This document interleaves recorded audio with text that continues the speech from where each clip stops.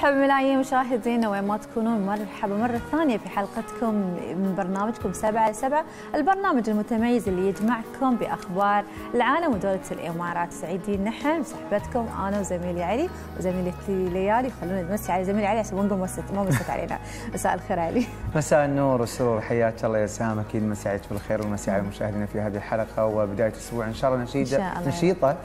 وأكيد تتميز إن شاء الله بالحيوية والطاقة وبإذن الله تعالى يكون أسبوع إنجاز ومليء بإذن الله تعالى بالخير. مشاهدينا أكيد في دولة الإمارات العربية المتحدة كل يوم هناك طبعا أخبار رائعة وتغريدات جميلة من أصحاب السمو. ونروح لتغريدة أكيد شغلت تويتر وكانت هناك كان هناك تفاعل كبير عليها وهي طبعا تغريدة صاحب السمو الشيخ محمد بن راشد ال مكتوم نائب رئيس الدولة رئيس مجلس الوزراء حاكم إمارة دبي. يقول فيها نفتش عن قادة يحركون الجبال ويقودون التغيير ويصنعون المستقبل. همتهم في السماء وطموحاتهم معانقة النجوم. تغريدة جميلة أكيد من صاحب السمو الشيخ محمد بن راشد آل مكتوم نائب رئيس مجلس الوزراء رئيس مجلس الوزراء طبعا حاكم إمارة دبي حفظه الله على حسابه في تويتر وحاثا أكيد الشباب على استنهاض هممهم والبحث عن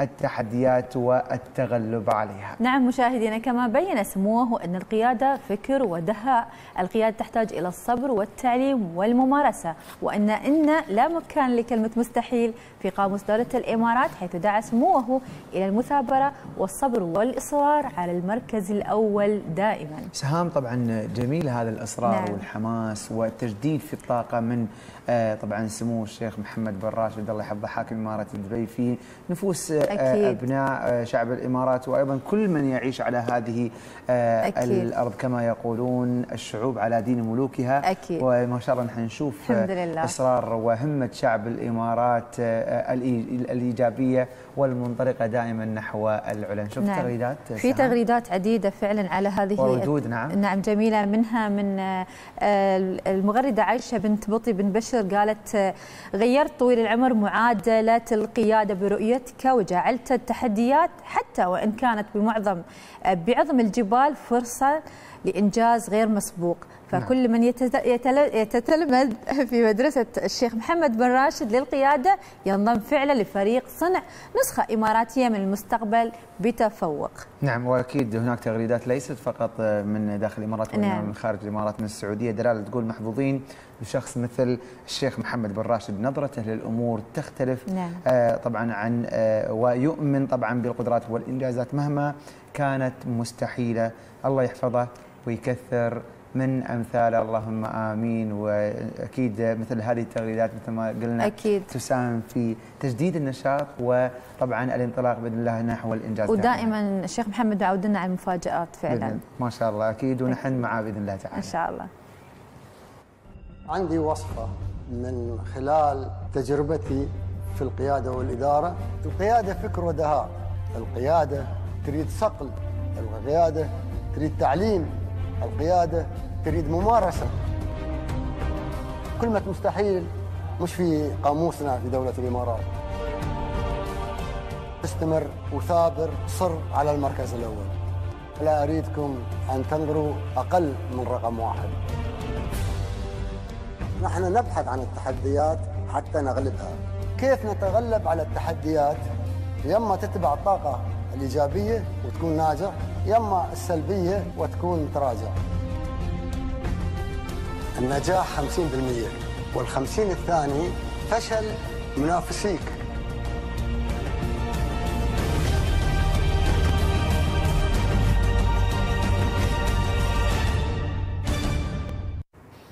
مشاهدينا بعد في خبر ثاني ومتعودة قادتنا دائما تفاجئنا آه، هيئة الخدمة الوطنية والاحتياطية ستعقد دورة عسكرية ومشاهدينا للمعلمات لمدة أسبوعين. علي.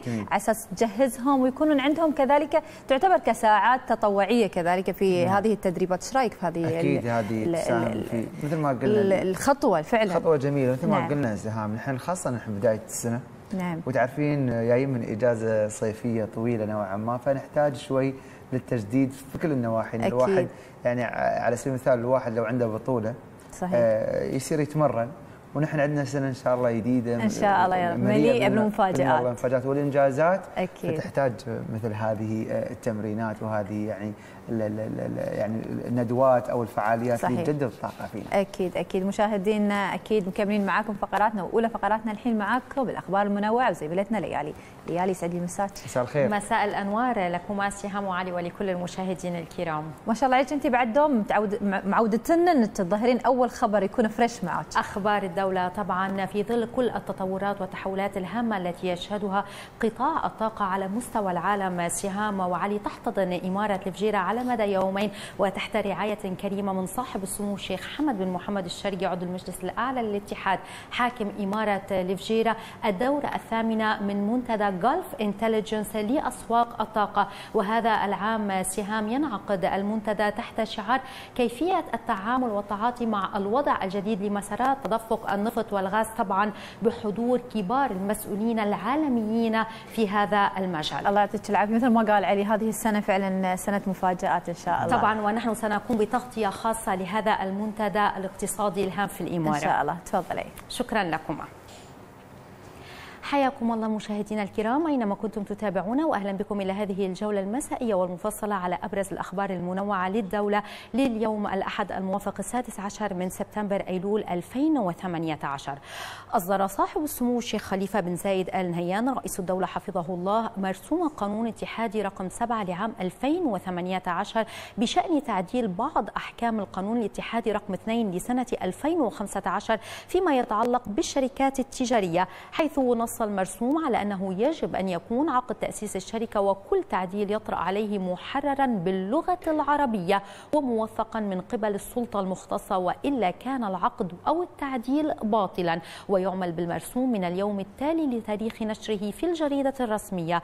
كما أصدر صاحب السمو رئيس الدولة حفظه الله مرسوما بشأن تقرير اعتماد إضافي للميزانية العامة للاتحاد وميزانيات الجهات المستقلة الملحقة عن السنة المالية 2000 2018 ونص المرسوم الذي نشر في العدد الأخير من الجريدة الرسمية الاتحادية على أن تزاد تقديرات مصروفات الميزانية العامة للاتحاد عن السنة المالية 2018 بمبلغ مليار و969 مليون و269 ألف درهم يمول من الاحتياطي العام للدولة. من جهة أخرى بعث صاحب السمو الشيخ خليفة بن زايد آل نهيان رئيس الدولة حفظه الله برقيات تهنئة إلى كل من الرئيس كارلوس ألفارادو كيسادا رئيس جمهورية كوستاريكا والرئيس خوان أورلاندو هرنانديز رئيس جمهورية هندوراس والرئيس دانييل أورتيغا سافيدرا رئيس جمهورية نيكاراغوا والرئيس جيمي مورالز كيبريرا رئيس جمهورية غواتيمالا وذلك لمناسبة ذكرى استقلال بلادهم.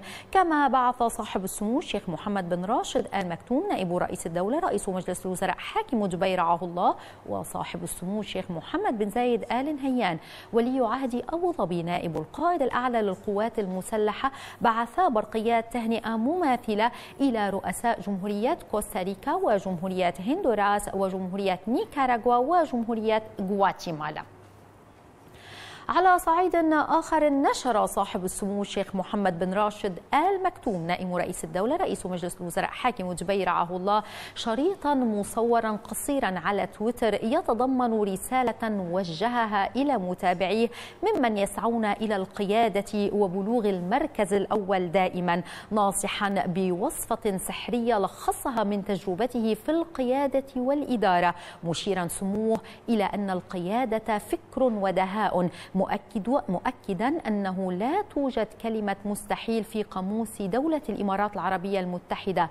نحن نبحث عن التحديات حتى نغلبها.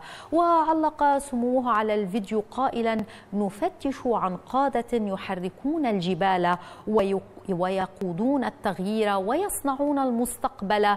همتهم في السماء وطموحاتهم معانقة النجوم.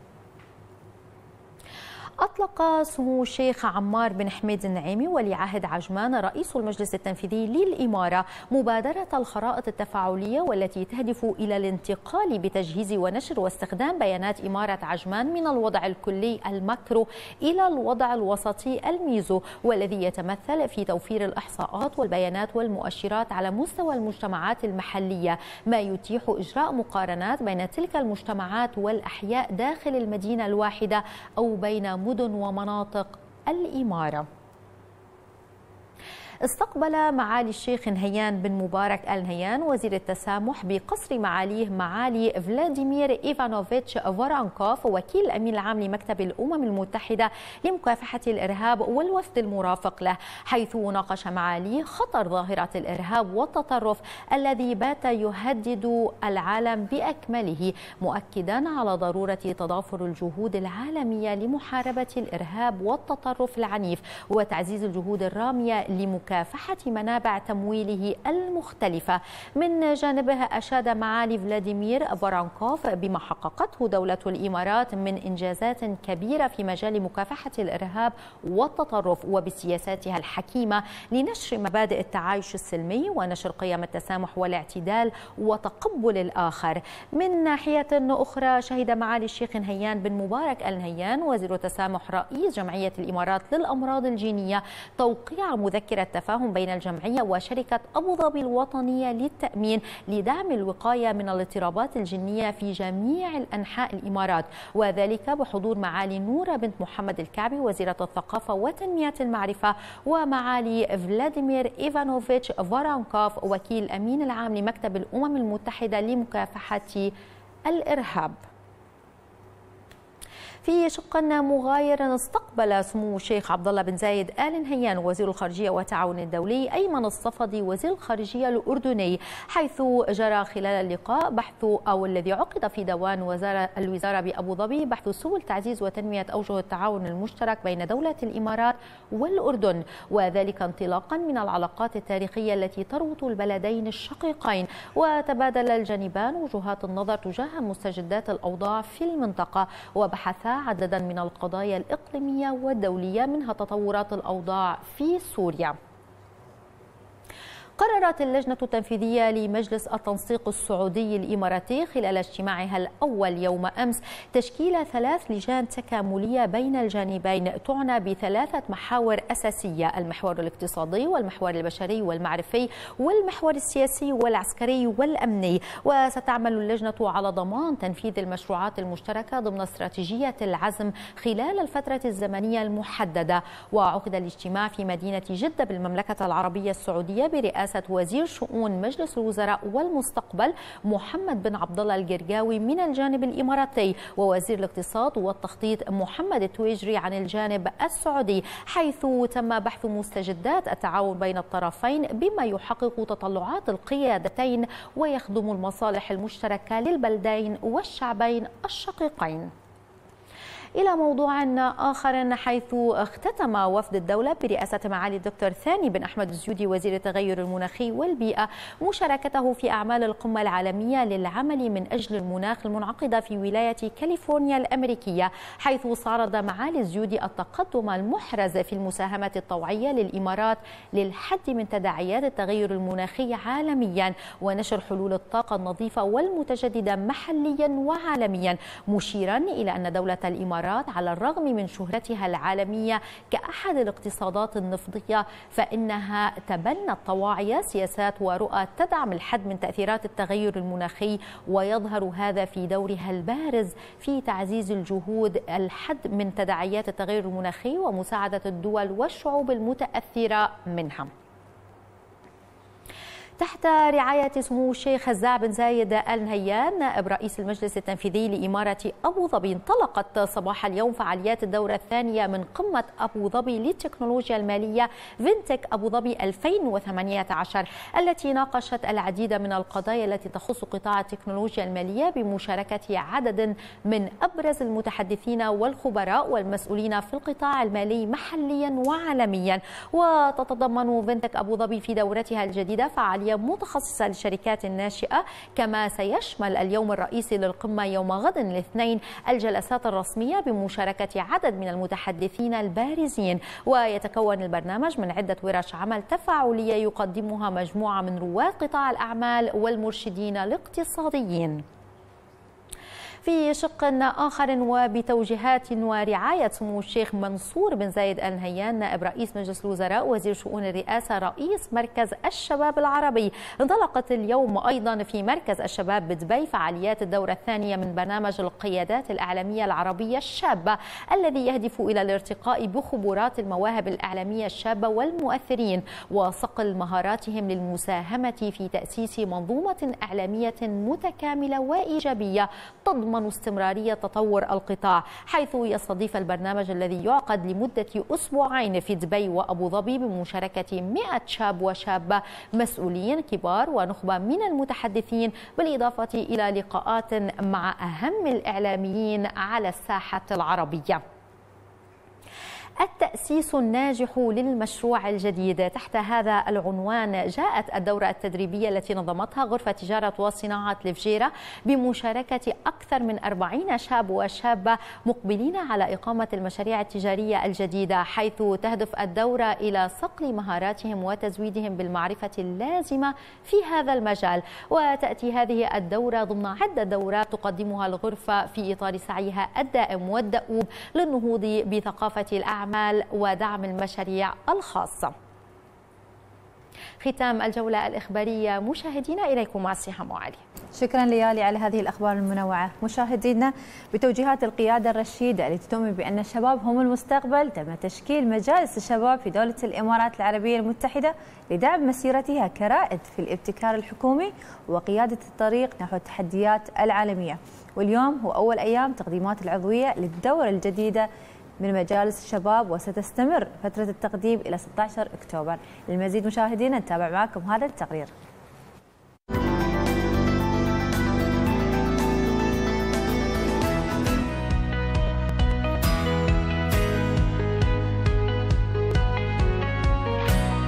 مجالس الشباب لله الحمد آه، قريب تخلص دورتها الثانية وبنفتح إن شاء الله مجال التسجيل للدورة الثالثة ابتداء من غدا الأحد السادس عشر من سبتمبر لمدة شهر السادس عشر من أكتوبر إن شاء الله. نشجع جميع الأعضاء أو جميع الشباب عفوا أن يشاركون في عضوية مجالس الشباب لأن الهدف الرئيسي من آه، عضوية المجالس أن يكونوا الشباب حلقة توصل بين شباب إمارتهم وصناع القرار سواء على مستوى الإمارة أو على مستوى الإمارات. ولله الحمد آه، خلال السنتين الماضيتين حققوا أعضاء مجالس الشباب الأهداف المرجوة منهم اللي هي إيصال صوت الشباب لصناع القرار ونتمنى من الدورات القادمة أن يكملون على هذه المسيرة.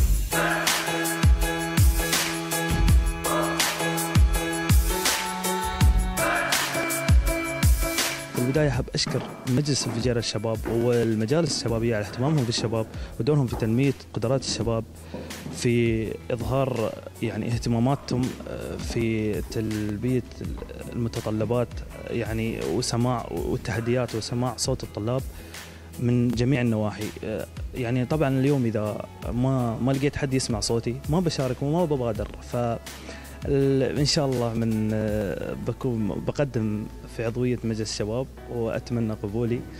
وبحاول اني أغير في عديد من الأشياء اللي تواجه الشباب في هذه الأيام وتواجه الشباب حتى في المستقبل.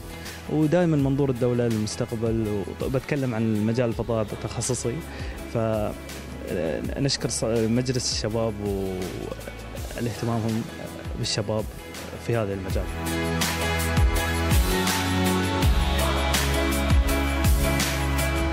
تخصصي هندسة ميكانيكية. اولا بداية أشكر آه، أعضاء مجلس شباب إمارة الفجيرة. صراحة كفوا وما قصروا جزاهم الله خير. كفوا تقريبا اغلب المبادرات اللي الشباب محتاجينها في هذه الإمارة. وحاولوا طوروا بالبداية. بس في بداية أول أول جلسة سووها اللي جلسة العصف الذهني. كانت تشمل عدة مواضيع عشان يعرفون شو هي التحديات أو شو المشاكل اللي الشباب يحتاجونها في هذه الإمارة. وجزاهم الله خير. وطبعا مثل ما قالوا الجماعة ان المجلس هو دوره حلقة وصل بين شباب الإمارة وصلون صوتهم إلى القيادة. فكل الشكر لهم وإن شاء الله أنا أتمنى أني أقدم في الدفعة الثالثة وكل التوفيق لأخواني الأعضاء الثانيين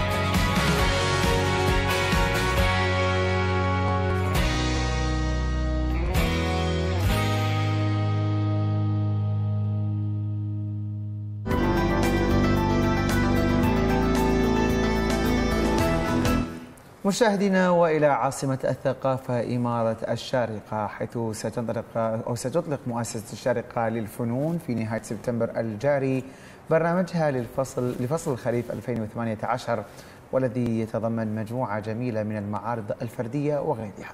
والحديث أكثر عن هذه الانطلاقة يسرنا أن نرحب عبر الهاتف مباشرة بالاستاذ إسماعيل رفاعي مستشار التحرير والمحتوى العربي في مؤسسة الشارقة للفنون. مرحبا أستاذ نورت البرنامج. يا مرحبا منور بوجودكم شكرا لكم. في البداية خلينا نتكلم عن استعداداتكم لإطلاق هذه المجموعة من المعارض. الحقيقة يعني العمل على قدم وساق جاري لإطلاق هذه المعارض نعم.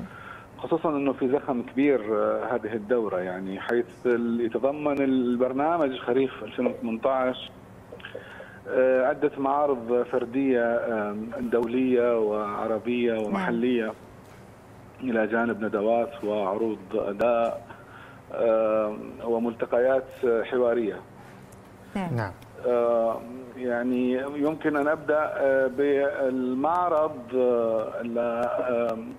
معرض بعنوان فرانك بولينج خريطة العالم وهو معرض عالمي انتقل إلى الشارقة الآن بعد تقييمه من قبل سمو الشيخة حور القاسمي رئيس مؤسسة الشارقة للفنون أوكوي إنويزور وأنا شنايدر حيث كان أطلق من قبل في Haus der Kunst ومتحف الفن الحديث في إيرلندا. نعم. بالتعاون أيضا مع مؤسسة شارقه للفنون وهو يغطي مسيرة الفنان فرانك بولينج الفنان الشهير اللي استمرت على مدار تقريبا ستة عقود.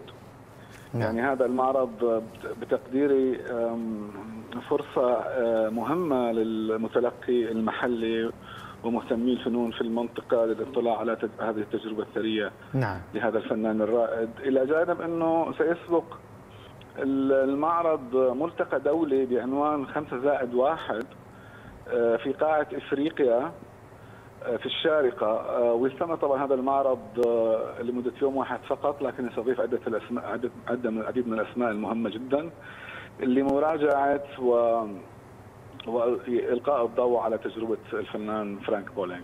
نعم. نعم. أستاذ إسماعيل يعني ما هي الاستراتيجية لخطة عمل البرنامج المقرر الذي ستنطلق من خلاله جملة المعارض؟ يعني استراتيجية العروض في مؤسسة شارقه الفنون طبعا إذا أردنا أن نوضح الحقيقة البنية المؤسسية لكل البرامج ثمة برامج تقام على مدار العام لها علاقة بتلبية الاحتياجات المحلية في إمارة الشارقة ومنطقة الخليج بشكل عام. وبالتالي هي برامج تعليمية وبرامج دعم وبرامج احترافية للفنانين المقيمين في المنطقة. أعمال مثلا برامج أخرى ذات طابع دولي اللي تقيمها المؤسسة أيضا على مدار العام أو مرة كل سنتين مثل بناء الشارقة. نعم بناء نعم. الشارقة الشهير آه وبالتالي هذا أحد الجوانب اللي تربط ما بين النشاط الثقافي في الشارقة والعالم ما يحدث في العالم على مستوى الفنون الإبداعية وما يحدث في الشارقة جسر متبادل من الأعمال الفنية المنتجة حديثا في العصر الراهن نعم. لأهم الأسماء الموجودة الآن اللي تشتغل في في نطاق التجريب والبحث ثمت أيضا برامج أخرى لها علاقة ببرامج مثلا إنتاج الأفلام السينمائية أو برامج إنتاج الموسيقى إلى آخره يعني نعم. طبعا هناك أيضا برامج أخرى لها علاقة بتقديم منح الإنتاج والإقامة الفنية في إمارة الشارقة لإطلاق أو أو إنتاج أعمال فنية أو مشاريع فنية تحاكي الإمارة بكل مكوناتها الثقافية والاجتماعية والإنسانية وهذا وهذا المزيج الثقافي متعدد الجنسيات اللي تحفل تذكر فيه عموما إمارة دولة الإمارات. نعم. أستاذ إسماعيل خلينا نعم. نتكلم عن كيفية اختيار لهذا المحتوى أو محتوى المعارض وإلى ماذا تهدف؟ الاختيار يتم طبعا البرامج الدولية يتم اختيارها عبر تكليف المؤسسة بقيمين يملكون شهرة واسعة على النطاق العالمي. يتم تكليفهم من قبل إدارة المؤسسة. نعم. لاختيار المعارض واختيار البرامج التي يمكن إقامتها في الشارقة. نعم. برامج أخرى يقيمها يعني يعمل على اختيار محتواها مثلا الإدارة ذاتها اللجان المكونة من من ممكن تكون سمو الشيخ حور ريم جديد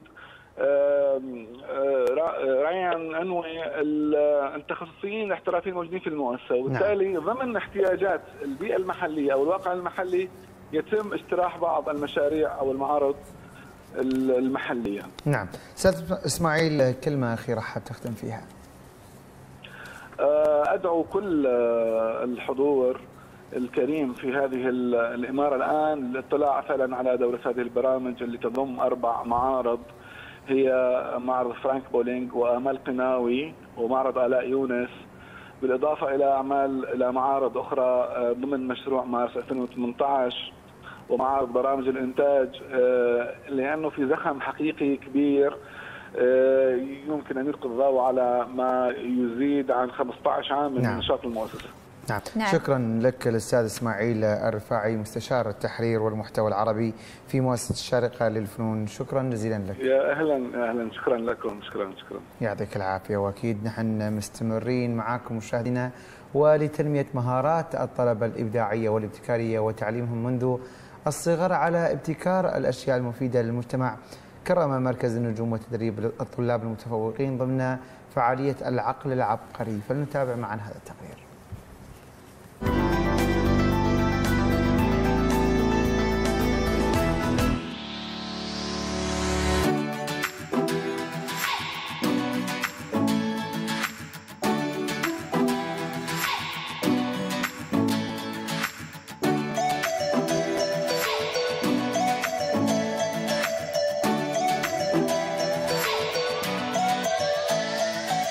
حبرال المدير التنفيذي لمركز النجوم للتدريب. نحتفل اليوم في فندق كونكورد بتخريج 200 طالب وطالبة من معسكر أو من معسكرات العباقرة التي عقدت في صيف 2018 والتي تضمنت برامج الحساب الذهني Genius Brain والروبوتات واللغة الإنجليزية والعديد من الأنشطة الرياضية كالسباحة وال cardio. يأتي هذا الاحتفال استكمالا لأهداف المعسكر من تقوية شخصية الطلاب وزيادة الثقة بالنفس حيث أردنا أن نشعرهم بقيمة النجاح ولذة الشعور بالإنجاز وأيضا لنحثهم على الاستمرار في المستويات المتقدمة ليصلوا لدرجة الاحتراف في مجال الحساب الذهني والروبوتات والذكاء الاصطناعي.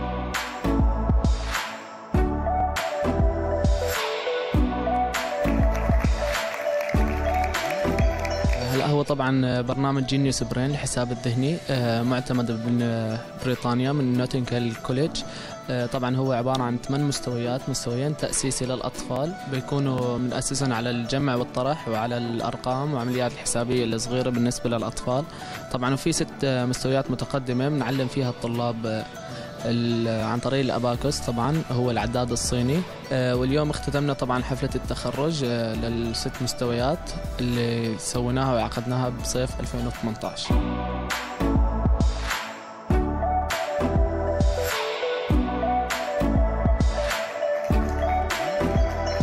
شاركت في مركز النجوم Genius Brain وأثر على دراستي في الرياضيات وصرت أحسب بسرعة. فاست... فاستفدت وايد من هذا البرنامج وحبيته. فأنصحكم أنتم تشاركون بعد.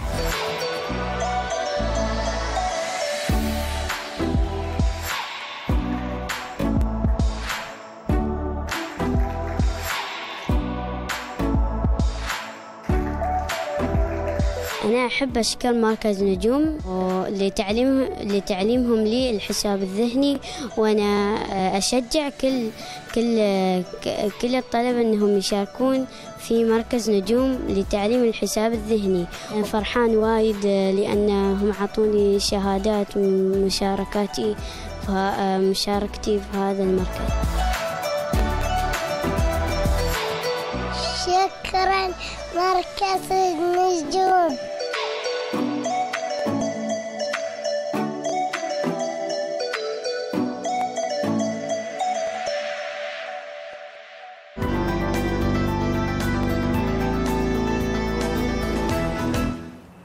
مشاهدينا الكثير منا يعاني أحيانا من الأمور السلبية التي تصادفه في حياته والأكثر منا يبحث عن كيفية الحصول على حياة إيجابية سعيدة متوازنة ويعي لتحقيق السعادة وتطوير ذاته لكن كيف يحصل عليها بطريقة علمية بنتعرف على هذا الموضوع مع ضيفتنا الكريمة التي عملت في رحلة بحث عن معاني الصحة صح.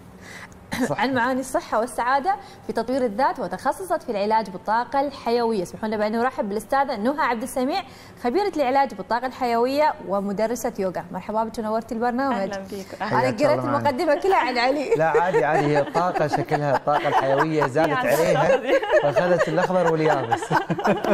ترى عشان شي بغيت أسكت أعطيك فرصة يعني. خلاص عاد من النص. الله يحفظ حياك الله. سعيدين فيك. أهلا بك. طبعا سعيدين جدا بوجودك ونبغى طاقة إيجابية وحيوية ما شاء الله تأثرت سهام البداية بهذه الطاقة. هي متحمسة يعني. اي عشان قريتها كلها ما شاء الله. مليئة بالحيوية ما شاء الله عليها. الله يحفظك أستاذة نهى سعيدين جدا بوجودك. بداية قبل لا ندخل في التفاصيل حابين يعني أكيد نعرف المشاهدين أكثر عليك وعن رحلتك في هذا الموضوع والبحث عنه.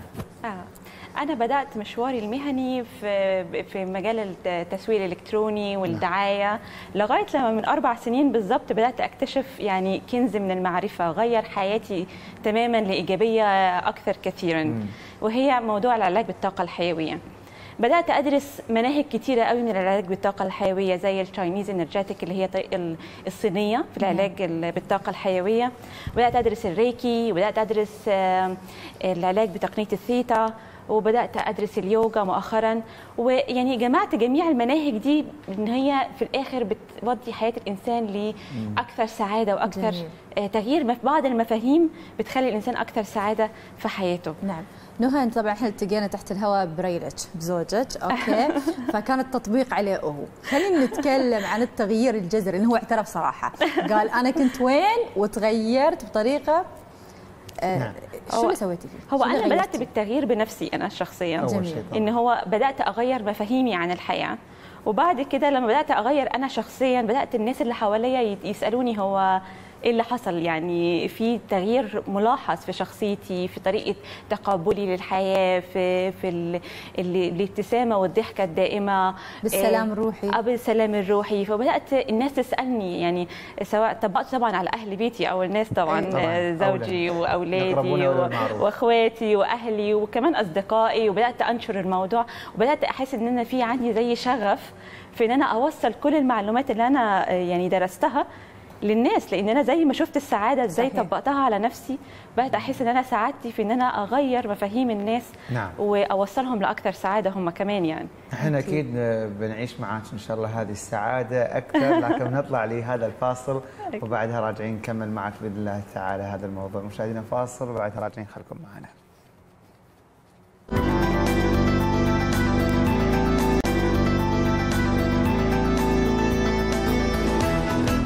حياكم الله مشاهدينا من بعد هذا الفاصل مستمرين معاكم في موضوع كيفية الحصول على حياة إيجابية سعيدة ومتوازنة مع الأستاذة نهى عبد السميع خبيرة العلاج بالطاقة الحيوية ومدرسة يوغا حياك الله معنا مرة ثانية. الله يحفظك. طبعا تحدثنا في البداية عن مسيرتك في الحصول على المعرفة ومريتي على كذا مدرسة في هذا الموضوع المدرسة الصينية واليوغا والريكي وغيرها من المدارس. وطبعا شكلتي حلقة وصل ما بين هذه العلوم وكونتي يعني خلينا نقول طريقة جديدة خاصة فيك تفيدين نفسك وتفيدين من حولك. وذكرتي إنك بديتي طبعا بالأقربون. أول شيء بنفسك أكيد. ومن ثم اللي في البيت بس عشان نعطي نبذة سريعة للمشاهدين. يعني في قصة ونحن كلنا نعرفها إن في شخص حاول يغير العالم فوصل آخر عمره قال أنا أنا اكتشفت إني ما راح أستطيع أغير أحد لأني ما بديت بنفسي. قصة البداية بالنفس. خبرينا عن هذه القصة ومواجهة النفس والتغلب عليها عشان تأثرين على اللي حولك هو أنا يعني لقيت متعة في دراسة العلاقات الإنسانية عموما. ولقيت إن أهم علاقة هي علاقة الإنسان بنفسه. جميل. إحنا بنبحث عن السعادة دايما للخارج. دايما بنبحث عن حلول خارج صحيح. الإنسان. دايما الإنسان بيبحث عن الجمال عن عن الصحة في حلول خارجية. مم. ولو إن إن السعادة الحقيقية في إن الإنسان يبدأ يحول السهم ويبص جوه نفسه. مم. فهي الرحلة بتبدأ من علاقة الإنسان بنفسه. وبتبدأ من معرفة الإنسان لنفسه. هي مرحلة الوعي إن الإنسان يبقى. عنده وعي وإدراك بمشاعره وبأفكاره. وب... وبرغباته وبأفعاله. هي دي بداية مرحله ال- ال- السعادة. ف... فعلاقة الإنسان بنفسه لازم الإنسان يكون متصالح مع نفسه. نعم. علاقة الإنسان بنفسه انه يكون يحب نفسه حب النفس ده يعني موضوع كبير مش الغرور إيه؟ مش الغرور طبعا مش نعم، الغرور أكيد. إحنا إحنا عندنا مبدأ غلط في تربيتنا للأسف. إن الإنسان اللي بيحب نفسه أناني. أو مغرور ولكن حب النفس ده مهم جدا لأن أنا لو ما حبيتش نفسي ما بيحب حد ثاني بالضبط. على فكرة إذا ما حب نفسه ما أكيد. يحب بالضبط أكيد جميل. الله يعطيك العافية. كيف نخلي حياتنا إيجابية؟ طبعا إحنا بنقول أنا مثلا أبغى أحول حياتي إيجابية ممكن أتوقع إنه بيوم بيومين. لا طبعا أكيد هناك في عثرات وفي تحديات. شو التحديات اللي تواجه أي شخص يبغى يحول حياته إلى إيجابية؟ هي بتبدأ بتغيير المفاهيم والأفكار. مم. في بعض المفاهيم والأفكار الواحد لو فهمها نعم. هيكتشف حقيقة الحياة. أول مبدا بقى يعني قناعه نقول منها؟ آه يعني أول مبدا دايما بقوله لأي حد يعني موضوع إن أنت مسؤول عن أي حاجة بتحصل في حياة الإنسان مم. يعني ما فيش حاجة اسمها صدفة أو آه، آه، الظروف أو أصل دي. غلطة آه، الأق- يعني مش. المدير أو يرمي الشغل اللوم أو على. يرمي. اللوم على على الظروف وال- نعم. وال- والحياة وال- والوالدين والتربية و- بس هو في من أحيان تكون فيها جزئية من هذا بس لازم هو ما يس- ما يسقط كلها. يعني إحنا ربنا خلينا عندنا القدرة على التغيير نعم. الرضا طبعا بالوضع الحالي بس القدرة دايما على التغيير فإن الإنسان أول ما بيبدأ يكتشف حقيقة إن كل حاجة بتحصل في حياته هو المسؤول عنها صحيح. بيبدأ يتحول من إن هو قاعد في ال- الكرسي الخلفي للسيارة إن هو بيطلع ويمسك عجلة القيادة وبيبدا ياخد مسؤولية كل حاجة بتحصل في حياته. نعم ودي دي دي مهمة جدا نعم. تاني حاجة ودي برضو حاجات مهمة جدا إن هو الواحد لازم يعرف إن في بعض المفاهيم الكونية اللي بتتحكم في حياة الإنسان في في قوانين كونية زي قانون الجذب وقانون الطلب وفي قوانين مهمة جدا زي مثلا إن قانون الطلب ده إن الواحد لازم يبقى عارف هو عايز إيه في حياته لازم يبقى عنده هدف. والهدف ده لازم يكون واضح ومحدد مش بس مجرد إن هو سايب نفسه إيه أي حاجة تيجي له. يعني دايما بضرب مثل في الموضوع ده إن الإنسان لو دخل مطعم مثلا وجاء مقدم الطعام وقال له آه تحب تاكل إيه؟ فهيقول له أنا مش عايز ده ومش عايز ده بس خلاص أي حاجة. فهيخش وهيجيب له أي حاجة. وممكن تبقى الحاجة دي مش هو اللي هو عايزها. لكن لو حدد بالظبط رغباته وطلباته وهدفه في الحياة ده بيأثر جدا على إيجابيته وتقبله للأمور. جميل. آه نعم. و- و- وده عندنا برضو في الدين الإسلامي اللي هو ادعوني أستجب لكم. أنت لازم تبقى عارف إن نعم. أنت لو دعيت ولو حددت هدفك هتاخده. وقانون الجذب اللي هو أهم حاجة في في في الطاقة يعني ده اللي بيتحدى عليه كل قانون ال- العلاج بالطاقة إن أنت كل ما ارتفعت طاقة الإنسان كل ما جذب في حياته حاجات إيجابية. وبالعكس صحيح إن هو كل ما متشائم. إيه، بالظبط كده. وإزاي بن بنعلي أو بن بنقلل طاقة الإنسان؟ عن طريق المشاعر والأفكار والكلام. نفس العبارة تفاؤلوا بالخير تجدوا مظبوط. مظبوط. إن كل كلمة ليها تردد وليها ذبذبات وكل فكرة ليها تردد وليها ذبذبات وك وكذلك كل فكرة وكل مشاعر. فكل ما كان قلب الإنسان وعقله مليان بحب وطاقة وإيجابية كل- ما قدر يجذب في حياته حاجات سعيدة. وكل ما كان قلب الإنسان مليان كره مثلا أو غضب لازم أو استياء أو استياء لازم يعرف إزاي يحرر المشاعر السلبية نعم. دي من من من نعم. من, من جسمه يعني نعم أستاذ نهى دائما نحن نسمع الطاقة الإيجابية ولكن اليوم نحن آه، مع مصطلح آه، جديد اللي هو الطاقة الحيوية. آه، ما المقصود بالطاقة الحيوية بشرح أكثر؟ ال- ال- الطاقة الحيوية هي اللي يعني هو الإنسان عبارة عن طاقة في هالة حوالين جسم الإنسان أوكي؟ كل ما كانت برضو الإنسان إيجابي كل ما كانت الطاقة الحيوية اللي هي تتحكم في وظائف جسم الإنسان مش مجرد جسد فقط بل هو جسد وعقل وروح. فالطاقه الحيوية دي ده آه، آه، مصطلح آه، عرفوه العلماء إن هي اللي بيتحكم في مشاعر وأفكار وحياة الإنسان. نعم. وأعضاء أيضا. وأعضاء بالضبط في مراكز لتجمع الطاقة. لجسم الإنسان. آه إيه، مصطلح بيسموها ال- ال- الشاكرا مراكز. آه آه وكل إنسان عنده سبع مراكز لت- لتجمع الطاقة في في جسمه نعم. وفي حاجات معينة بتخلي المراكز الطاقة دي يا إما تنساب فيها الطاقة بسهولة وسلاسة يا إما يحصل فيها آه، مشاكل وتلاقي الإنسان يبدأ يحصل يعني يمرض يتعب يجيله ألم في ظهره ألم في كتفه لأن كل حاجة مرتبطة نعم. ببعضها الجسد مع الروح مع المشاعر وكل مرض آه، آه، جسدي أصله آه، مشكلة نفسية والاثنين مرتبطين وين ببعض. المسارات بالضبط اللي في جسم الانسان سبع تقريبا؟ ال- السبع شاكرات أو ال- السبع نعم. مراكز للطاقة. نعم. هي في هم الجبهة وحدة تكون ولا؟ آه هي بتبدأ من نهاية العمود الفقري. okay؟ آه، دي آه، بنسميها ال- ال root chakra ودي مسؤولة عن ال survival عند الإنسان إزاي يبقى عنده إن هو يحافظ على نفسه إن هو بقائه حي على قيد الحياة. نعم. وبعد كده في هنا آه، هي بتتدرج في العمود الفقري يعني من أول بداية الرأس لغاية نهاية العمود الفقري. وكل شاكرا أو مركز تجمع للطاقة؟ مسؤول عن شيء في مشاعر الإنسان وفي, وفي جسده مش بس في المشاعر جميل المشاعر الإنسان فعلا يستكشف آه، جسده ويستكشف هال- هالأمور فعلا بيشتغل صحيح. على عمره أكثر مظبوط هي ده علم كبير جدا يعني ويعني يطول شرحه صحيح. موضوع الشاكرات جميل طبعا مريتي على علوم كثيرة أستاذة نهى منها طبعا رحتي للمدرسة الصينية وأيضا درست اليوغا والريكي وأيضا الثيتا نعم مريتي على كذا زين. مدرسة في هذا العلم. يعني ما هي ما هي حلقة الوصل؟ آه، أو أو خلينا نقول ما هي النواقص في كل علم؟ فجمعتيها أنت في علم جديد إن صح التعبير. هو ما فيش آه، نواقص هي كل حاجة بتكمل بعضها. نعم. okay؟ يعني مثلا علم الطاقة واليوجا وال- والتغذية هم أنا بسميهم مثلث الصحة. مم. okay؟ هم بيكملوا بعض.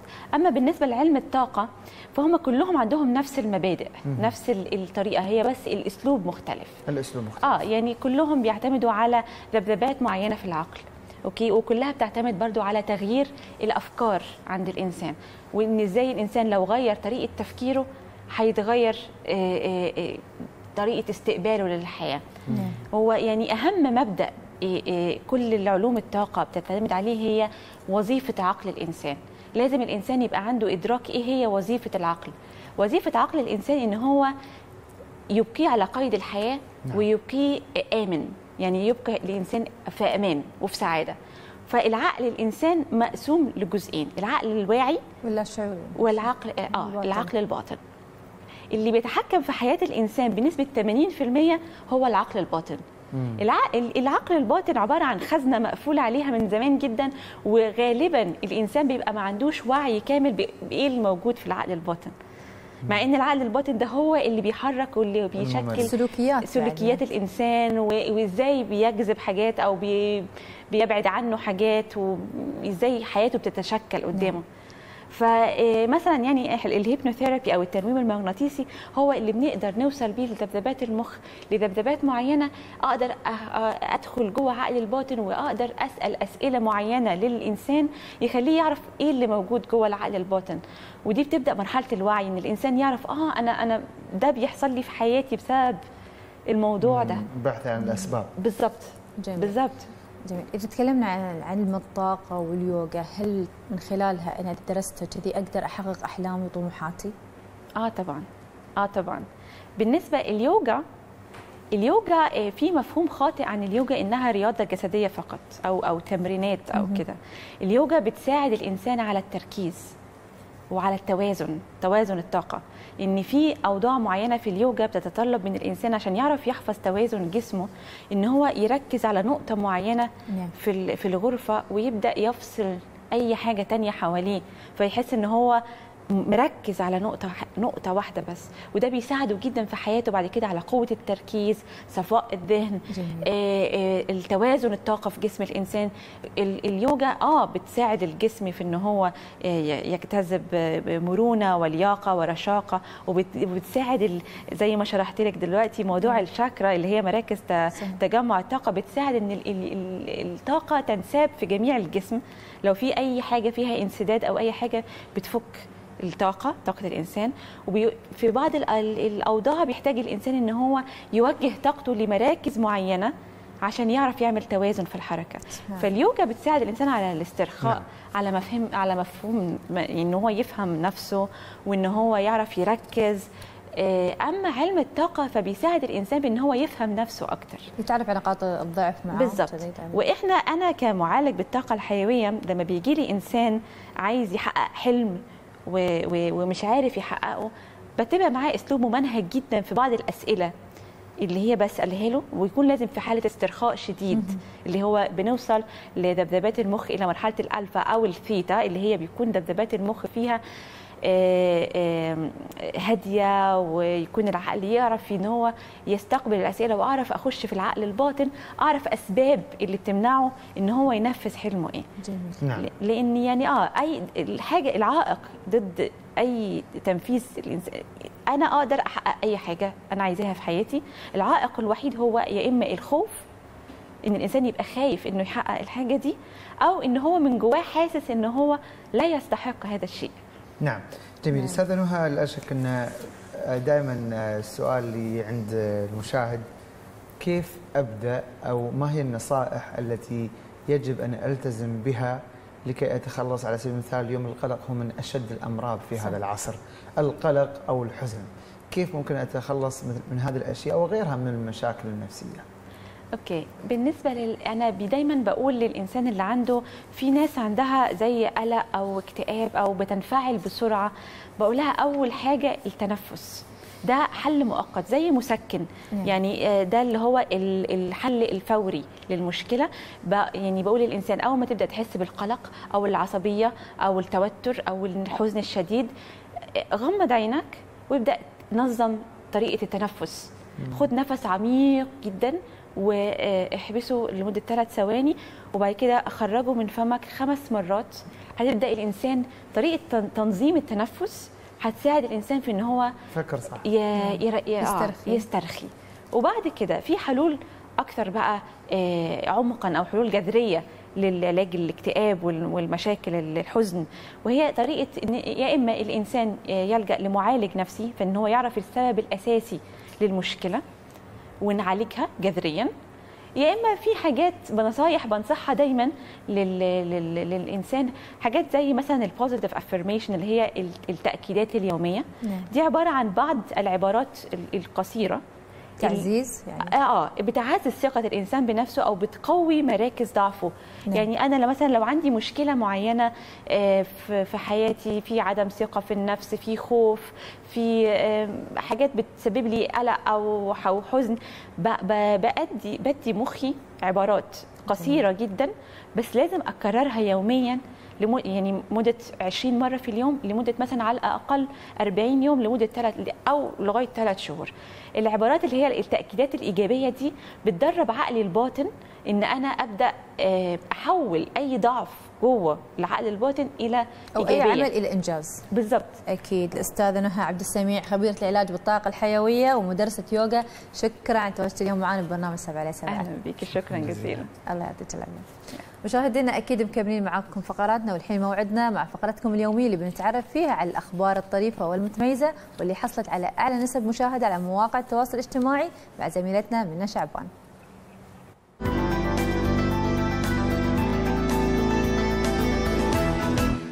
وسهلا بكم معانا في أخباركم.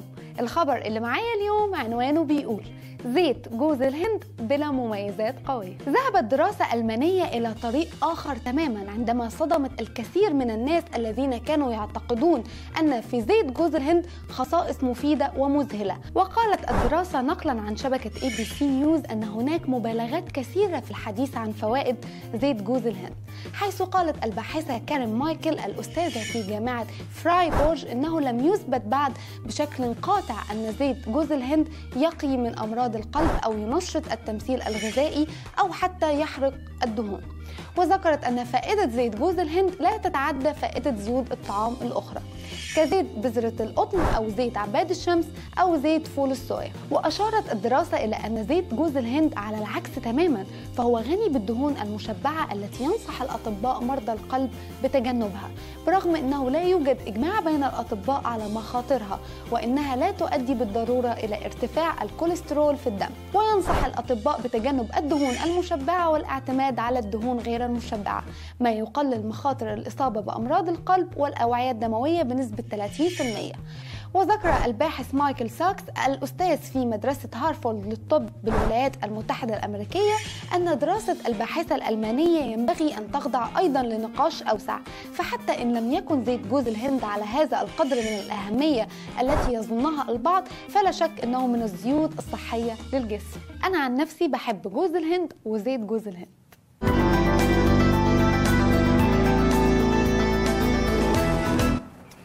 مشاهدينا الكرام دائما دولتنا الحبيبة تسعى وراء الحفاظ على سلامة المواطن والمقيم وعلى كل شخص أكيد موجود على أراضيها حيث حذرت وزارة الصحة ووقاية المجتمع من استخدام أربع مستحضرات طبية لعلاج أمراض عصبية وتنفسية وقصور أيضا الغدة الدرقية بسبب تلوثها الجرثومي. والحديث أكثر عن هذا التحذير عن هذه التحذيرات سمحونا بأن نرحب بسعاده الدكتور أمين حسين الأميري وكيل وزارة الصحة ووقاية المجتمع المساعد لسياسة الصحة العامة والتراخيص رئيس اللجنة العليا لليقظة الدوائية. سعادتك مرحبا بك في برنامجنا. مساء الخير أهلا وسهلا. مرحبا. حياك الله يا دكتور الله يحفظك. سعيدين جدا أكيد بوجودك. بداية يعني كيف أسعد. تم الكشف من قبلكم عن تلوث هذه المستحضرات الطبية؟ في الواقع هنالك تواصل دائم من قبل اللجنة العليا لليقظة الدوائية والتي تشرف عليها وزارة الصحة بالتنسيق والتعاون مع كل الجهات الصحية في دوله الإمارات. هذا التنسيق موجود مع الهيئه الأوروبية للدواء وكذلك هيئة الدواء والأغذية الأمريكية. وهذا التحذير صدر عن هيئة الدواء الأمريكي أو هيئة الغذاء والدواء الأمريكي باكتشافهم بأن هذه الأربع مستحضرات الدوائية لها مفعول سلبي على صحة مستخدميها لأنها ملوثه البكتيريا نعم. ولها مخاطر على مستخدميها فمن هذا المنطلق قامت وزارة الصحة وقايه المجتمع من خلال اللجنه العليا للقضاء الدوائية بالتعميم على جميع المنشآت الصحية الحكومية والخاصة وجهات الاختصاص في هذا الشأن. نعم، ساعتك خلينا نوضح للمشاهدين أكثر ما هي أضرار هذا التلوث الجرثومي وكيف يتم الإصابة بالعدوى عند استخدامه. لا شك بأن هذه الأدوية حقيقة عندما تكون ملوثة بالجراثيم إن كانت بعض أنواع البكتيريا فتكون خطيرة جدا نعم. حيث عند التناول وتداول هذه الأدوية يتم انتقال هذه الجراثيم إلى المريض. وهنالك نوع من المخاطر الخطيرة على المريض خاصة المريض إذا كان مصاب بنقص المناعة أو الفشل الكلوي أو بعض بعض أمراض الكبد أو الأمراض العصبية الأخرى. فإن هذا التلوث وهذه الإصابة سوف تؤثر عليه أكثر من الأشخاص الآخرين. الأصحاء والذين لديهم مناعه قوية. ولا شك باي حقيقة أي نوع من المستحضرات الدوائية يجب أن تكون لدعم المريض وللحفاظ على صحته وعلاجه من الأمراض وليس نقل الجراثيم نعم أكيد. دكتور يعني ما هي الإجراءات المتبعة من قبلكم كوزارة الصحة يعني التي اتخذتموها في هذه التحذيرات؟ اولا بارك الله فيك إصدار هذا التعميم لإبلاغ جميع ممارسي المهن الصحيه وجميع المنشآت الصحية الحكومية الخاصة بهذا الأمر بالإضافة إلى منع دخول هذه المنتجات إلى الدولة. ثالثا إذا كانت هذه المنتجات موجودة في الدولة فيتم سحبها واتلافها فورا. رابعا حقيقة يتم كذلك التنسيق مع الشركة المصنعة بأهمية إعطاء المبررات التي جعلت من هذه المستحضرات من تكون ملوثه والعمل على فحص هذه المستحضرات ومثيلاتها حقيقة إن وجدت ضمن نطاق المستشفيات الحكومية الخاصة ولكن لحسن الحظ هذه المستحضرات الطبية الأربعة كانت غير مسجلة في دولة الإمارات ولم يتم جلبها أو استيرادها رسميا. ولكن انطلاقا من حرص وزارة الصحه ووقايه المجتمع من خلال اللجنة الوطنية العليا لليقظه الدوائية حرصنا أن نعمم هذا الأمر بحكم نعم. أن بعض المستحضرات يتم شرائها من خلال المواقع الالكترونيه وكذلك بعض المرضى يقومون بجلب هذه الأدوية من خلال الحقائب الشخصية من خارج الدولة فهذا نوع من التحذير لهم بالتوقف باستخدام هذه المستحضرات الدوائية. نعم، سعادتك كيف يمكن المواطن معرفة المنتجات المسجلة في وزارة الصحة أو من غيرها غير المسجلة؟ بارك الله فيك. سؤال جيد. هنالك موقع إلكتروني لوزارة الصحة وهذا الموقع الالكتروني به حقيقة قسم خاص باليقظة الدوائية وهنالك ملف يختص هذا الأمر. نعم. وهذا يسمى أو قسم يسمى بالطمني وهذا القسم حقيقة مخصص لممارسي المهن الصحية وغير ممارسي المهن الصحية بالإمكان الاستعلام عن كل التحذيرات الصادرة عن وزارة الصحة. وكذلك التوجهات الصادرة من اللجنة العليا لليقظه الدوائيه بما يختص ببعض أنواع الأدوية والمكملات الغذائية ذات الابداع الطبي والتي صدرت بشأنها تحذيرات وكذلك بالإمكان التواصل نعم. مع الوزاره في حال نعم. وجود بعض المضاعفات أو التحذيرات عند استخدام أي صنف دوائي في الدولة. نعم. دكتور كلمة أخيرة حاب تختم فيها. الكلمة الأخيرة بأننا نود من كل المشاهدين الكرام بأن يهتموا بصحتهم وعدم القيام بشراء الأدوية من خلال مواقع إلكترونية لأن 90% نعم. من المواقع تكون وهمية صحيح. وتكون غير رسمية وكذلك عدم جلب الأدوية من الخارج لأن هذه الأدوية موجودة في دولة الإمارات لدينا 15 ألف صنف دوائي نعم. مسجل في دولة الإمارات والدولة الحمد لله بفضل من الله سبحانه وتعالى ومن ثم حكومتنا الرشيدة ما قصرت والخدمات موجودة بأعلى المعايير في دولة الإمارات نعم. لله. سعادة الدكتور أمين حسين الأميري وكيل وزارة الصحة ووقاية المجتمع المساعد لسياسة الصحة العامة والتراخيص رئيس اللجنة العليا لليقظة الدوائية. شكرا على هذه المداخلة الجميلة. شكرا لله. حياكم الله. مع السلامة. الله شكرا جزيلا. أكيد فعلا موضوع مهم وأكيد هذه رسالة لكل من يشاهدنا أنه ينتبه على صحته وبالذات من المواقع الوهمية على وسائل التواصل الاجتماعي. مشاهدنا إلى تونس الخضراء وإلى مدينة سوسة الجميلة وتحديدا من الأسواق القديمة لهذه المدينة التي تميز بالتراث في الصناعات الشعبية التقليدية وأيضا بالحياة الرائعة وأيضا الألفة بين سكانها. نتابع سويا ماذا رصدت كاميرا موبايل صديق برنامج سبعة على سبعة آدم شنيور من تونس في فقرة حول العالم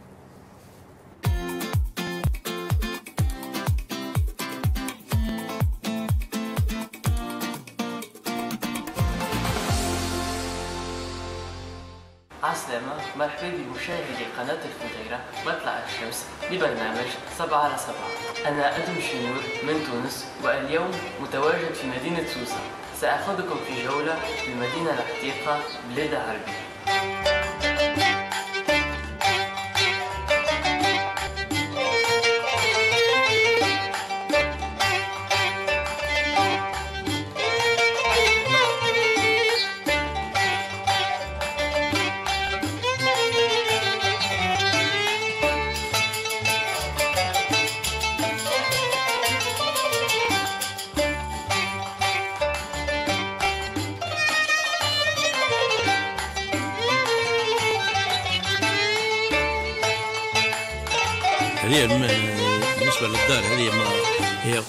وكاله قبل الفندق اللوطة اللي يبداو الحيوانات والكريطة محطوطين والعباد الفوق يباتوا في هذه ما يقارب كانت قبل 26 بيت وهي ما يقارب 400 سنة. نقولوا إحنا الوكاله فندق موجودة رسمي يوجد فيها الماجن الماجن هو عباره الماء من المطر وفما البير منعي تو كانت قبل السكنة وتو ولات مغازل للبيع الصناعات التقليدية. أي نعم. فتحديد الفخار ولا إحنا بصيرنا عن اب عن جد نخدموا الفخار الخزف ريتك ما نعرف وين. لحظة ما بين نومين ولا في الحجة مين ويمكن صارت هالقصة زمان اللي كانت خاصة. في ربط الحلفاوي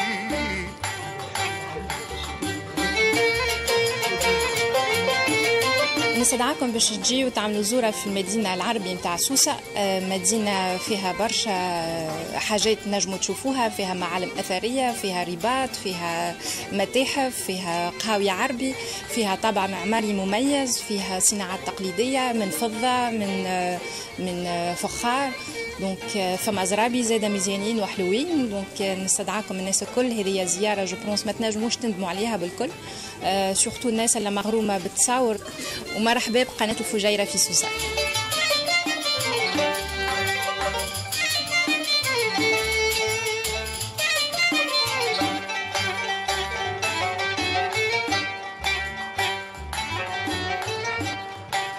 bon أنا باش نوريك توا نشتك شرك الليرة هذوما.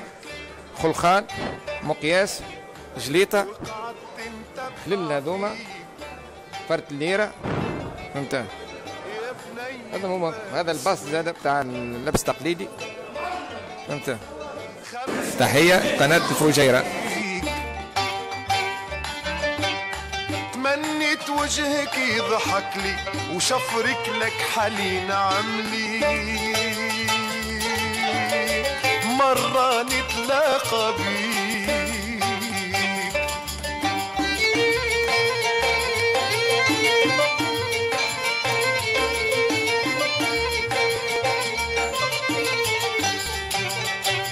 مرحبا بقناة الفجيرة في سوسة.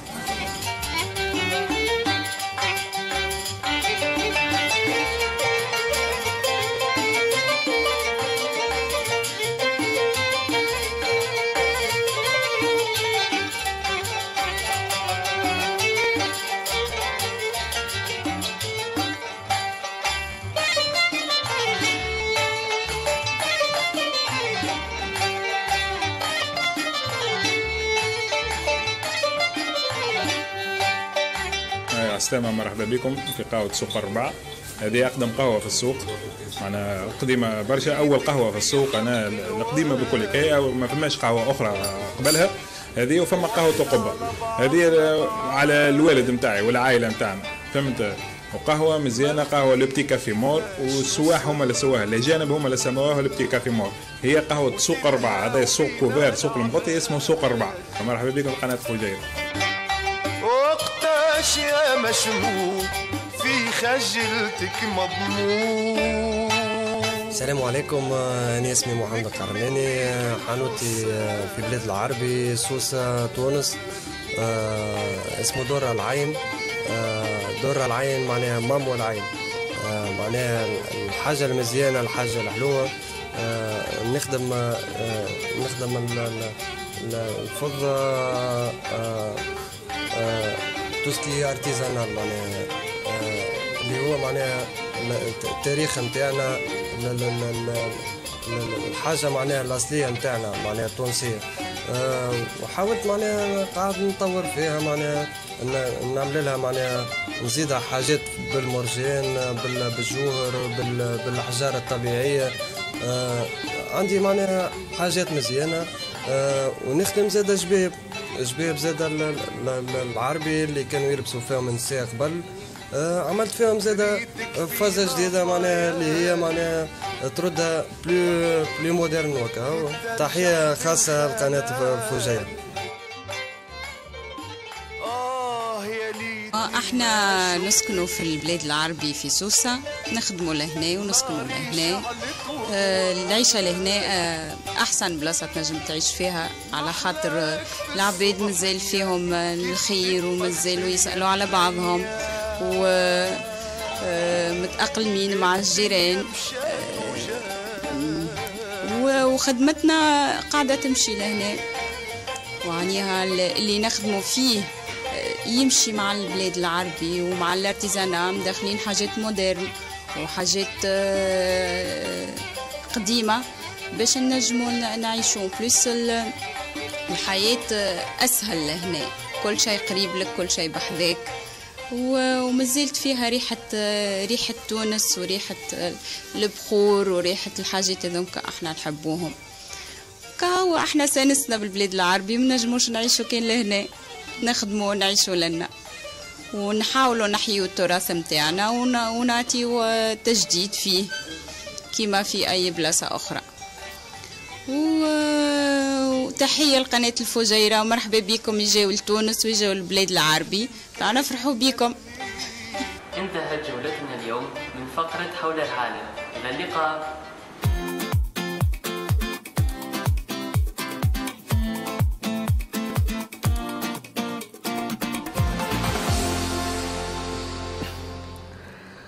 مشاهدينا الكرام الرياضة هي من أهم العوامل التي تساعد على بناء جسم سليم وصحي ولذلك تحرص بلدية أبو ظبي على إقامة نشاطات رياضية لتحفيز الأشخاص وتشجيعهم على ممارسة الرياضة بشكل دائم حيث أطلقت بلدية آه، مركز مدينة عفوا آه، أبو ظبي فعالية التزلج في ركوب الدراجات الهوائية. الحديث أكثر عنها عن التفاصيل اسمحوا لنا بأن نرحب بالمهندس عبد الله أحمد العسيري رئيس فريق عمل قسم المرافق والفعاليات في بلدية أبو ظبي. حياك الله معنا. يا هلا وسهلا حياكم الله. المهندس عبد الله يسعد لي مساك. يا هلا وسهلا حياكم الله. في البداية خلينا نتكلم عن فكرة إقامة فعاليات تزلج وركوب الدراجات الهوائية. يا حياكم الله. أول شيء أحب أمسي عليكم وعلى مشاهدينكم ومستمعينكم. آه، تندرج هذه الفعالية ضمن فعاليات رياضة بلا حدود وهي إحدى الفعاليات التنظيمية نعم. التي تنظمها بلدية مركز المدينة. ويتم سنويا اعتماد مجموعة من الفعاليات التنظيمية بمختلف أنواعها منها الثقافية والاجتماعية والرياضية. وذلك يتم بناء على دراسة شاملة تقوم بها البلدية نعم. آخذة بالحسبان عدة اعتبارات منها احتياجات المجتمع ورغباته وبناء على هذه الدراسة آه، تم اختيار هذه الرياضة لتكون إحدى الفعاليات المنظمة من قبلنا. نعم. نعم. نعم. مهندس آه، طبعا آه، عبد الله يا ريت لو نتكلم أيضا عن آه، إقبال الجمهور حول هذه آه، الفعاليات وهل وصلتم إلى أهدافكم؟ حقيقة على الرغم من معرفتنا المسبقة برغبة آه، شريحة كبيرة بتنظيم واحتضان هذا النوع من الرياضات إن صراحة ما شاء الله الإقبال يعني فاق التوقع. نعم. وحقيقة إحنا يوم وضعنا سياستنا في هذا في اختيار الفعاليات حطينا أهداف معينة وأهداف رئيسية. وكانت آه، من الأهداف تفعيل مرافق البلدية حيث قامت البلدية بتشكيل الكثير من المرافق الرياضية والاجتماعية.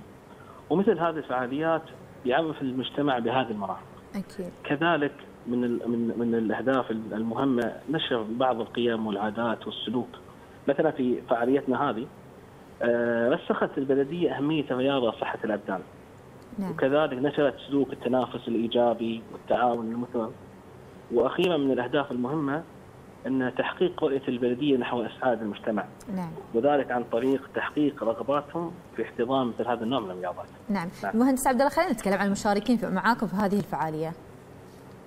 حقيقة استهدفت الفعالية مختلف الأعمار. نعم. للجنسين. وخلقت أجواء اجتماعية طيبة حقيقة. يعني في إقبال كبير على هذه الفعالية؟ كان إقبال حقيقة فاق فاق التوقع. ما شاء الله. وكان وكان الاختيار موقع إقامة الفعالية دور كبير. يعني إحنا اخترنا إنها تقام في إحدى حدائق ابو ظبي وهي حديقة العائلة. نعم. وهذا اتاح جميع أفراد الأسرة الحضور. والتمتع بالاجواء الاجواء الرياضيه التنافسيه وبالع- وبالعكس أيضا كان حث ابنائهم على ممارسه الرياضة. نعم. مهندس آه، عبد الله كلمة أخيرة حاب تختم فيها.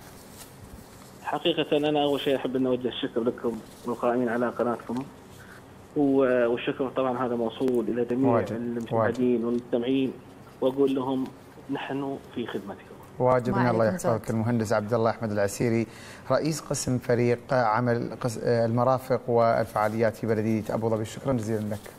يا أهلا وسهلا. شكرا. يعطيك العافية. وأكيد إلى موضوع آخر مشاهدينا وتهتم طبعا العديد من الأندية في الإمارات تنميه وصق المهارات ومواهب مواطني الدولة عن طريق عمل العديد من الأنشطة المختلفة والمتنوعة ومن بين هذه الأندية نادي الهوايات بدبي الذي اختتم اختتم أو اختتم فعاليات معسكر راشد الصيفي والمزيد من التفاصيل نشوف معاكم هذا التقرير.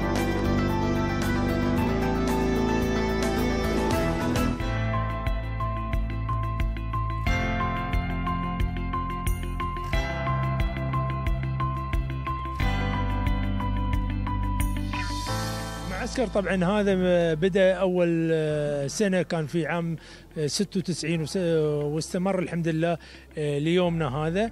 آه، المعسكر يهدف لشغل أوقات الفراغ عند الشباب أو الأطفال بما يعود عليهم وعلى أوطانهم بالنفع والفائدة وإبعادهم من مخاطر آه، آه، الفراغ ويتكون من عدة أنشطة ثقافية ورياضية وترفيهية. ويستمر تقريبا لمدة شهر. بعض الأطفال اللي أتموا نشاطات المعسكر وحضروا ال- ال- التكريم شفتوا يعني سلوكهم وأدابياتهم يعني يكفي أنهم هم في في اليوم موجودين في سفينة الكوين إليزابيث وهم يرتلون آيات القرآن الكريم. هذا شيء عظيم عند الله سبحانه وتعالى وعظيم في نفوسنا وفي نفوسهم كذلك. أول شيء أبغى أشكر الأستاذ عارف العبار على هاي المبادرة اللي مسوينها. لأن هي مبادرة وايد زينة وعيالنا كلهم استفادوا. أنا ولدي شارك في المعسكر وكان حريص إنه دائما يحرص آه، كل يوم يحضر على هاي. وحب كل الأنشطة الموجودة واستفاد جدا من كل النشاطات الموجودة خاصة قراءة القرآن والخيل وكل الألعاب اللي كانت موجودة. ف وهاي كانت فرصة لج... وأنا فرصة لجميع الناس يعني إن يشاركون عيالهم في هذا لأن فعلا في فائده لهم خاصة في فترة الصيف اللي تكون إجازة من المدارس يعني. وبعد مرة ثانية بعد نشكر الأستاذ أحمد عارف العبار على هاي المبادرة اللي وايد زينة يعني. أنا استفدت آم، آم، بركوب الخيل وكرة قدم و... و... و... وقرآن كريم و... وأكثر شيء حبيت ركوب الخيل و... و... وكان عندي يعني أصدقاء وما أعرف شو كنت يعني أتكلم معاهم ألعب معاهم.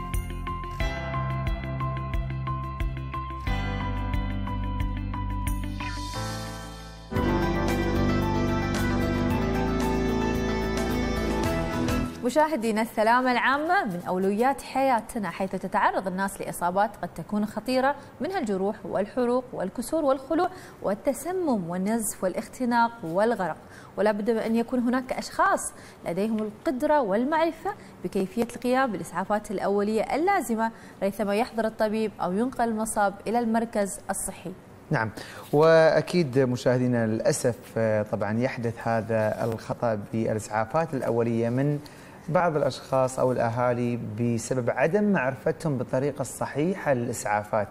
الحديث عن هذه الأخطاء وكيفية القيام بالإسعافات الصحيحة اسمحوا لنا بأن نرحب بالدكتور محمد علي قاسم استشاري طب الأطفال في مستشفى الفجيرة. حياك الله دكتور معنا. بك يا أستاذ علي. الله يحفظك. سعيدين جدا بوجودك و موضوع شيق. أسعد. فعلا موضوع مهم جدا يمكن خطأ بسيط يودي بش- بحياة آه، شخص. بداية قبل أن ندخل في التفاصيل دعنا نعرف آه، يعني ما هي الإسعافات آه، الأولية؟ آه، في البداية طبعا أوجه لكم الشكر على اختيار هذا الموضوع الهام جدا. وزي ما حضرتك تفضلت وقلت إن موضوع الإسعافات الأولية آه، إذا تمت بطريقة صحيحة ستساعد في إنقاذ حياة مريض نعم. وإذا كان في أي خطأ حتى لو بسيط قد يؤدي إلى لا قدر الله الوفاه أو حدوث مضاعفات وعجز بقيه. وإعاقة تمام. نعم. فإحنا بنعرف ال- الإسعافات الأولية هي عملية مساعدة مبدئية وسريعة نعم. لشخص مصاب يحتاج التدخل أو المساعدة ده أبسط تعريف لل- للإسعافات الأولية نعم. خلينا نتحدث عن الأخطاء آه، اللي يستخدمها المسعف وتكون طبعا تعرض حياة المصاب للخطر. أنواعها. تمام. في البداية أنا هعرف الأول أنواع ال- ال- يمكن حضرتك ذكرتها في الأول. الإسعافات الأولية بتكون لإصابات آه، كثيرة. نعم. ذكرنا منها على سبيل ال- ال- الغرق الجروح الغرق والجروح والنزف والتسمم الكسر، وهذه نعم. الأشياء. في في في الإسعافات الأولية لازم يكون في قواعد عامة نتبعها قواعد سليمة لكل الحالات هذه. نعم.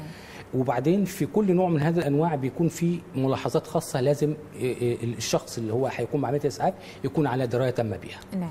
وبعدين هنتكلم على الأخطاء أو ال- ال- الأخطاء الشائعة اللي ممكن تؤدي إلى لا قدر الله مضاعفات. نعم. نروح للأخطاء الشائعة دكتور. طيب آه، لو حبينا نتكلم آه، على سبيل المثال على الكسور. المريض اللي أو المصاب اللي في حادث أو نتيجة آه، لا قدر الله سقوط من ارتفاع أو شيء حصل له كسر. نعم. بيكون عندنا نوعين من الكسور كسور بسيطة أو كسور مضاعفة. لو أنا آه، حاولت أنقل المريض بصورة عاجلة أو صورة خاطئة من مكانه قد. تسبب العظمة اللي هي المكسورة هذه قد تسبب إصابات للأنسجة والأوعية الدموية وتكون ينتج عنها نزيف شديد ولا قدر الله يكون في خطورة على حياته. نعم. فدي من ضمن الممارسات الخاطئة اللي إحنا دايما نحذر منها. نعم. آه، النقطة آه، مثل حالات التسمم. إن المريض عنده تسمم آه، في آه، آه، أسارع باعطائه بعض ال- المواد الغذائية أو مثل الحليب مثل ما بيحصل في هذه فيكون نتيجتها قيء والقيء قد يكون يس- يسد مجرى التنفس أو يتفاعل مع أشياء في المعدة ويسبب ضرر شديد للمريض. نعم. في أشياء كتيرة جدا لو حبينا نتكلم عليها في الحروق. نعم الحروق في بعض الأحيان إن إحنا بيكون آه، في عندنا معتقدات إن في مواد معينة لو أنا حطيتها على الحرق انها هتخفف المريض بالعكس هي هاي معتقدات اجدادنا يعني كانوا يستخدمونها هذه أشياء من من زمان يعني على سبيل على سبيل ما أنك تكلمت على الحروق نعم. يعني وهذا شيء منتشر ما معجون. أو طحين يحطون معجون مظبوط معجون أو أسنان. طحين بعد أو طحين. هي نعم. آه، أول كل شيء هو الفكرة المعتادة إن لو أنا حطيت معجون على الحرق إن ده آه، مرطب تبريد. هيخفف التبريد. نعم. هذا خاطئ جدا. بالعكس أنا بزود الالتهاب في مكان الحرق وبعرضه للتلوث. صحيح.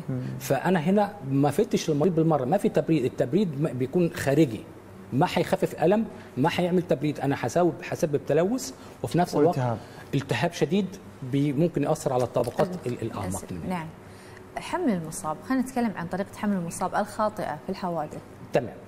إحنا خلينا نتكلم على في اماكن لو فيها اصابات قد تكون مش ظاهره وتكون خطيرة جدا. نعم. مثل إصابة العمود الفقري. نعم. دي في الغالب ما بيكون ظاهره لينا في أثناء الحادث ممكن يكون المريض المصاب بيتكلم معي ويظهر لي إن هو سليم. وفي كسر. فإذا أنا لم اتوخى الحذر في حمله إذا احتاج النقل من مكانه تثبيت آه، لازم يكون مثبت لازم بنقول في مست- مستوى الرأس مع العنق مع الجسم يكون في مستوى واحد وبحذر شديد.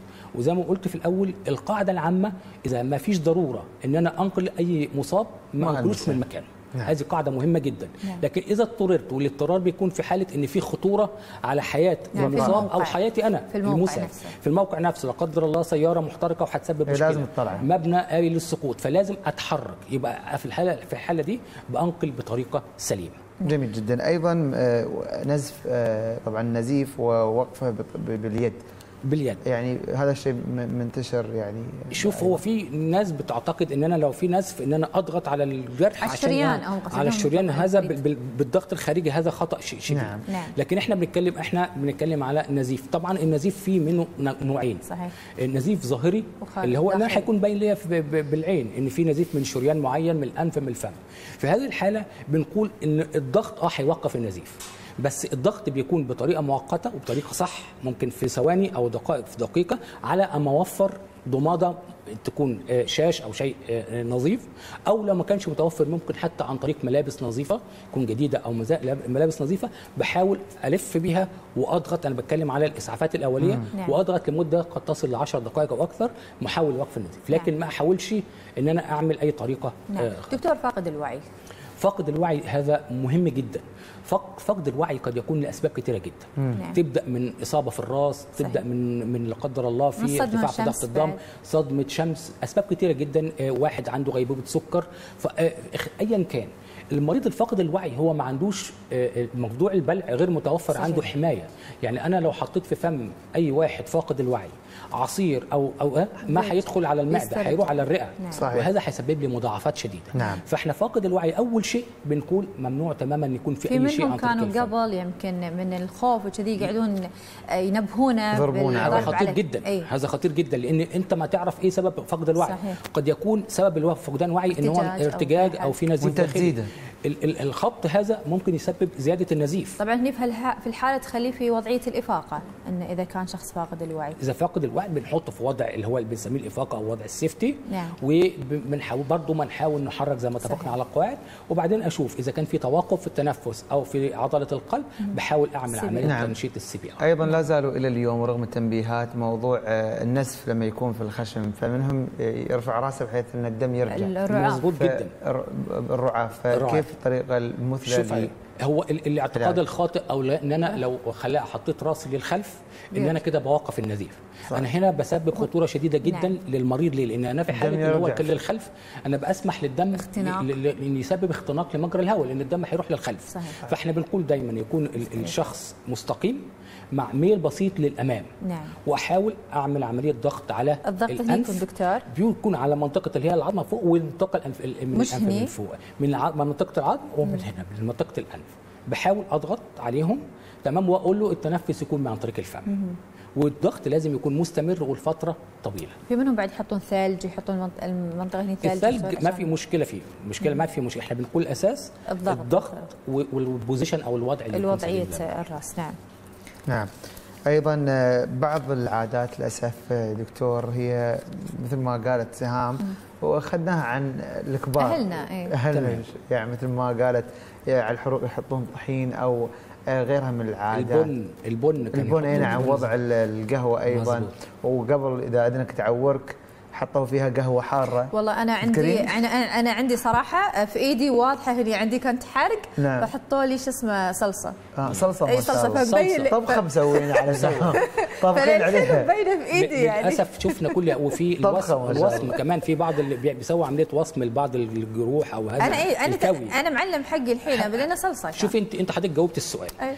النتيجه ده كان إيه؟ إن حصل ندبة كنت في مكان الإصابة والندبة هذه بتستمر مع الشخص حطوا. صلصة. ممكن تكون في مكان يعني حساس في الوجه أو شيء يعني. تمام فهذا طبعا ممارسات خاطئه 100% صحيح لكن بس هم كانوا ممكن يبون. يسرحون يعني أشخاص هو. كان في آه، اعتقاد أو كان. في وكان في في بعض الأحيان بيكون في فايدة إن هو ال- الكي ممكن بس بيبقى لهم مضاعفات ثانية صحيح. نعم. إحنا الآن بنقول في عندنا إسعافات أولية عندنا في معرفة لأن الحين في علم في تطور في علم وفي تطور نعم. فإحنا لا ننكر ما كان قدرنا. نسوي لكن لازم نمشي بالعلم وال... نعم.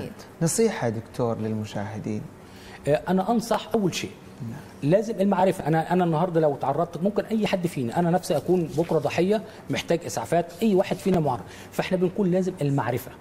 المعرفة إن أنا أحاول أطلع من المصادر زي زي مصادر الموثقه عن طرق الإسعافات الأولية السليمة إن نعم. أنا أكون عندي آه، آه، تدريب أحضر دورات أنا بس بنصح كل نعم. أهالينا يحاولوا يحضروا دورات عملية ودي متوفرة في أماكن كتير جدا حتى عندنا في مستشفى الفجيره خاصة بالإسعافات الأولية نعم طبعا تمام. طبعا أجدادنا إحنا كانوا يعالجون وما زالوا وهذا أساسا مذكور في بال نعم في السنة يعني بالسنة بس لا- الكي الكي موجود هو الكي. آخر الحلول لكن آخر البعض يروح في, في أول في شيء أول. للأسف ده خطير جدا نعم. بأمانة إن أنت عارف الكي أنا عملت حرق صناعي نعم. الحرق الصناعي هذا الحروق عموما أكبر شيء عرضة للعدوى والميكروبات هذا هذا الشيء. ومكان ال- الكي بيسيب ندبات لا يمكن تزول. صحيح. فإحنا خلاص هذا الكلام يعني مر عليه كتير جدا اليوم من الطب الزمان. وفر أشياء كثيرة. الطب وفر أشياء كتير جدا. إحنا بننصح. مثلا في حالة إصابة والله إذا أنت شايف إن الإصابة شديدة اعمل إسعافات اوليه زي ما قلنا وقف النزيف وبعدين توجه لأقرب مركز صحي أو مستشفى. نعم. تمام؟ إذا آه، في عندنا أي آه، يعني موضوع كي هذا موضوع أو الوسم أو هذا الأشياء آه، أشياء ضارة جدا ولازم نكون انها نتفاداها تماما. نعم. نحن سعيدين جدا بهذا اللقاء دكتور. شكرا لك دكتور محمد عفواً. علي قاسم استشاري طب الأطفال عفواً. في مستشفى الفجيره شكرا جزيلا. شكرا. جزيلا. يعطيك العافية. وأكيد نحن مستمرين معكم مشاهدينا. نطلع لهذا الفاصل بعدها راجعين. خلكم معنا. شكرا.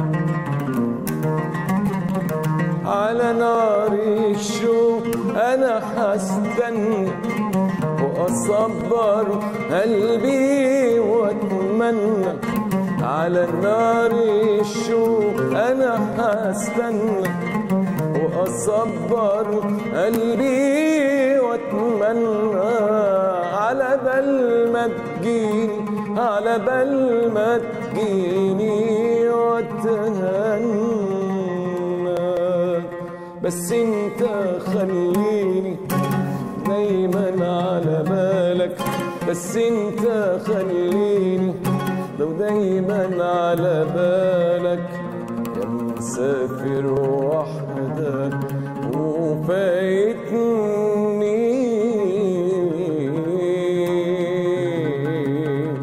لتبعد عني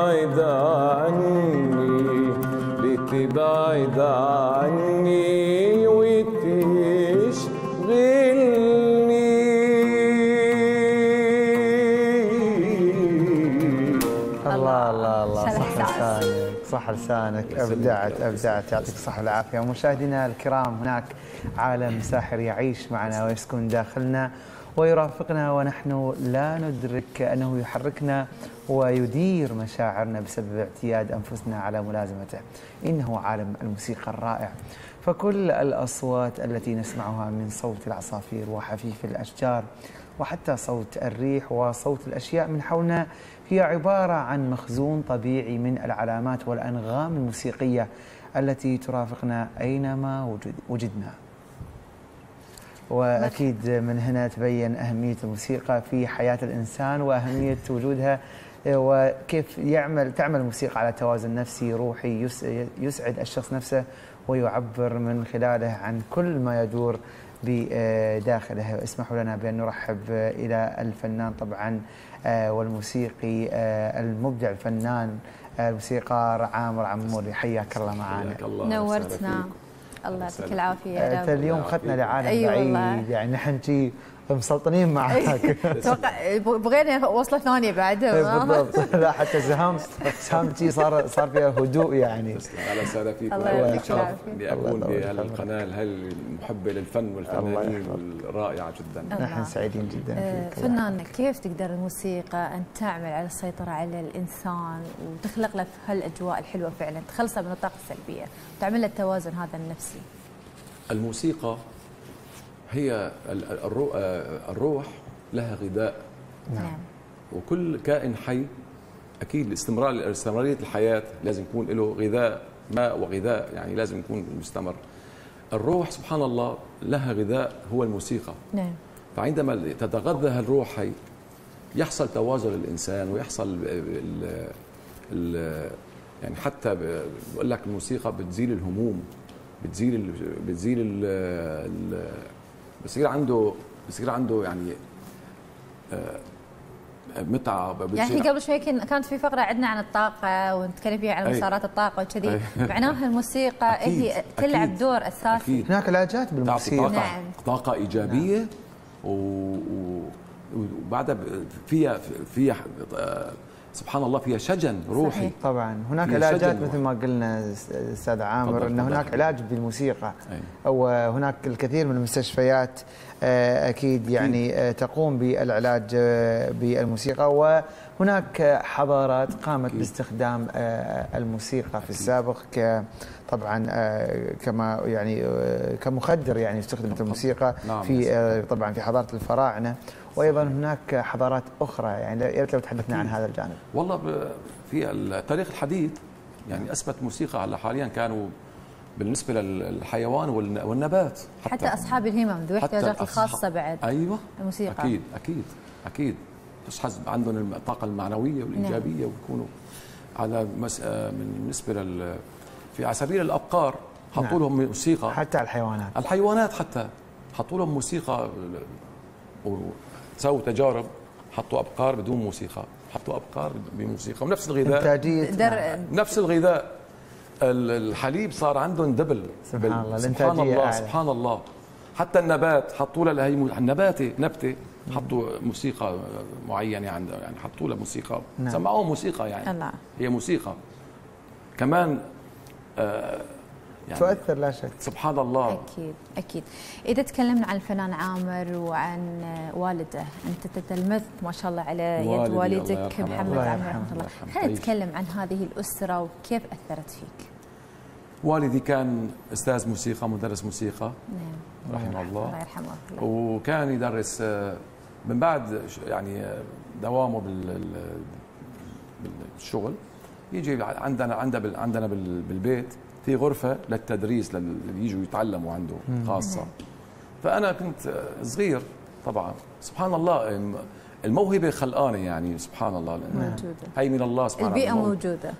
موجودة. وال- نعم. وترعرعت أنا ب- بجو موسيقي وجو حتى موسيقى يعني موسيقى عندنا عندنا موسيقى الموشحات موسيقى ال- ال- الصوفية موسيقى نعم. ال- ال- الأناشيد الدينية و- والموشحات والأغاني والقدود الحلبية. نعم. طبعا كنا نحن من مدينة حلب كوننا يعني مشهورة. آه، تسلمي والله تر- نشأت وترعرعت على هذا الجو هذا.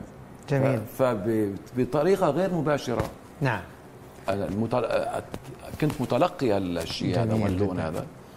فبدون آه، مقدمات ياخذ والدي كان يعطيني درس درس النوطه للتلميذ. نعم. فأنا من بعد ما يروح التلميذ قال له بابا أنا بنفذ ال... كيف تنفذ؟ قال له أنا أنفذ الدرس. ما شاء الله إيه والله. نعم. بعد ما بعدها صار أمر واقع يعني. ما شاء الله خلاص. لازم ما تتعلم شاء الله. طبعا بما إنك جئت من حلب. وأكيد حملت تسلم. آه، فن حلب وتراث حلب في تسلم. تسلم. أغانيك. دعنا نسمع شيء. يلا حاضرين؟ من حلب. حاضرين. Música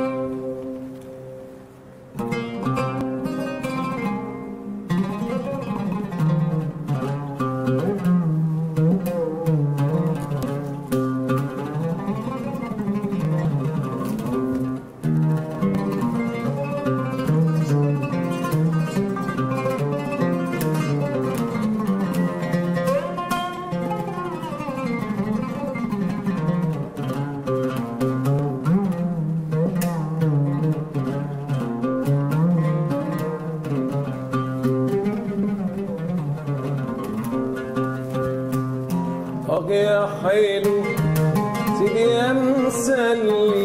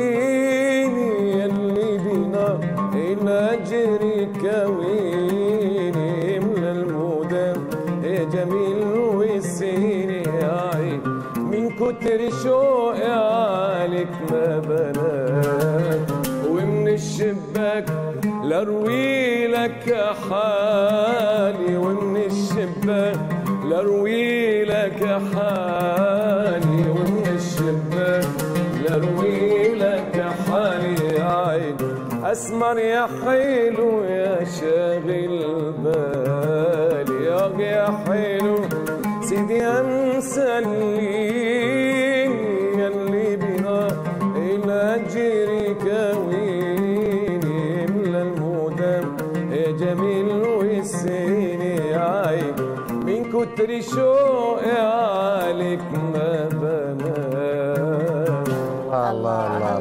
أستاذ عامر ما نبغاك تسكت. إي والله. الله يحفظك والله الله يعطيك. رائع جميل. صدق. فنان عامر كنت وفي للفنان الكبير صباح فخري ومميز في فقرته. خبرنا عن هذا الوفاء. آه، آه، تجربتي مع الأستاذ صباح طويلة كثير. على مدى 22 سنة تقريبا. ما شاء الله. إي طويلة كثير. عمر. عمر طويل. خبرنا عن هذه المسيرة. والله مسيرة بحد ذاتها نوعا ما جميلة فيها متعة وفيها يعني كنت بس بنفس الوقت يعني بتحرمك من شغلات يعني التزامك معه بتح... ب- ب- العائلة المجتمع. كل شيء. السفر كان عندنا. سفر. نعم. يعني أحيانا أمريكا رحنا ثلاث مرات بالسنة. ما شاء الله. ثلاث مرات. كندا أمريكا أستراليا أوروبا. أكثر أكثر شيء كنا نروح بقى بس أكيد هذا الاحتكار لأنك كنت فعلا مميز. أنا كنت كان يعطيني سولو بالحفلة. نعم. إيه أنا أشوف نفسي فيه يعني سبحان الله. ما شاء الله. إيه هو كان كثير كان محب وهو يعني أستاذ صباح.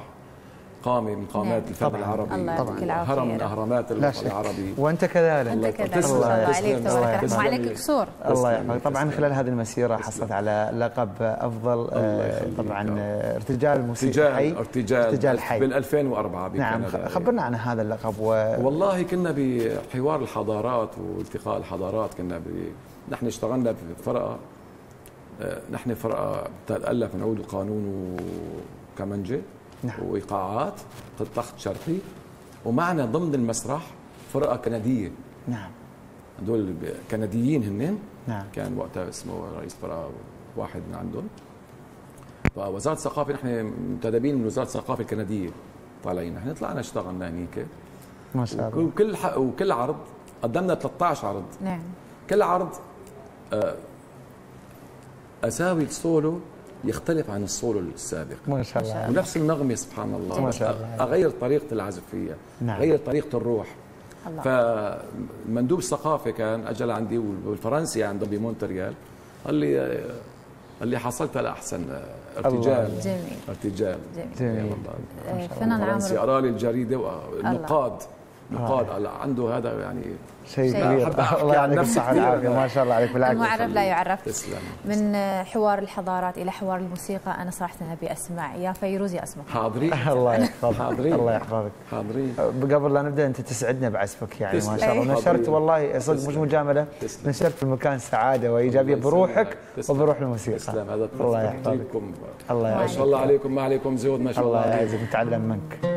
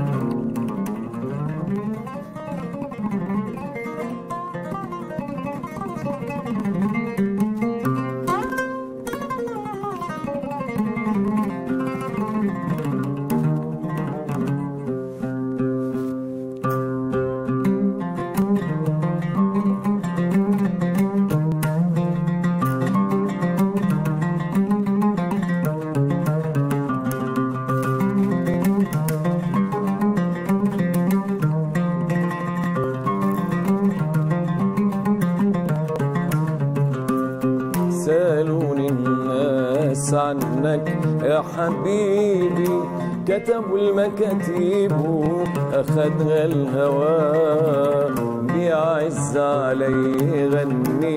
يا حبيبي لأول مرة ما نكون سوا سألوني الناس عنك. يا حبيبي كتبوا المكاتيب أخدها الهوى.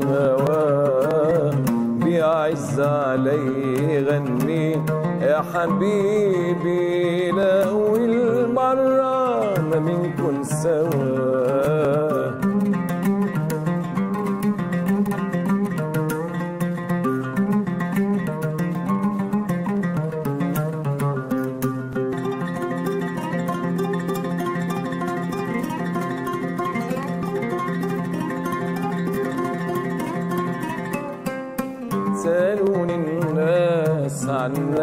سألوني قلت لهم راجع وعتلوني سألوني الناس عنك سألوني قلت لهم راجع وعتلوني غمضت عيوني خوفي للناس.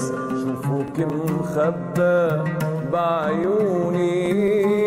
وغبي الغوى نساني الغوى لأول مرة ما منكن سوا سألوني الناس عنك يا حبيبي كتبوا المكاتيب أخدها الهوى. بيعز علي غني يا حبيبي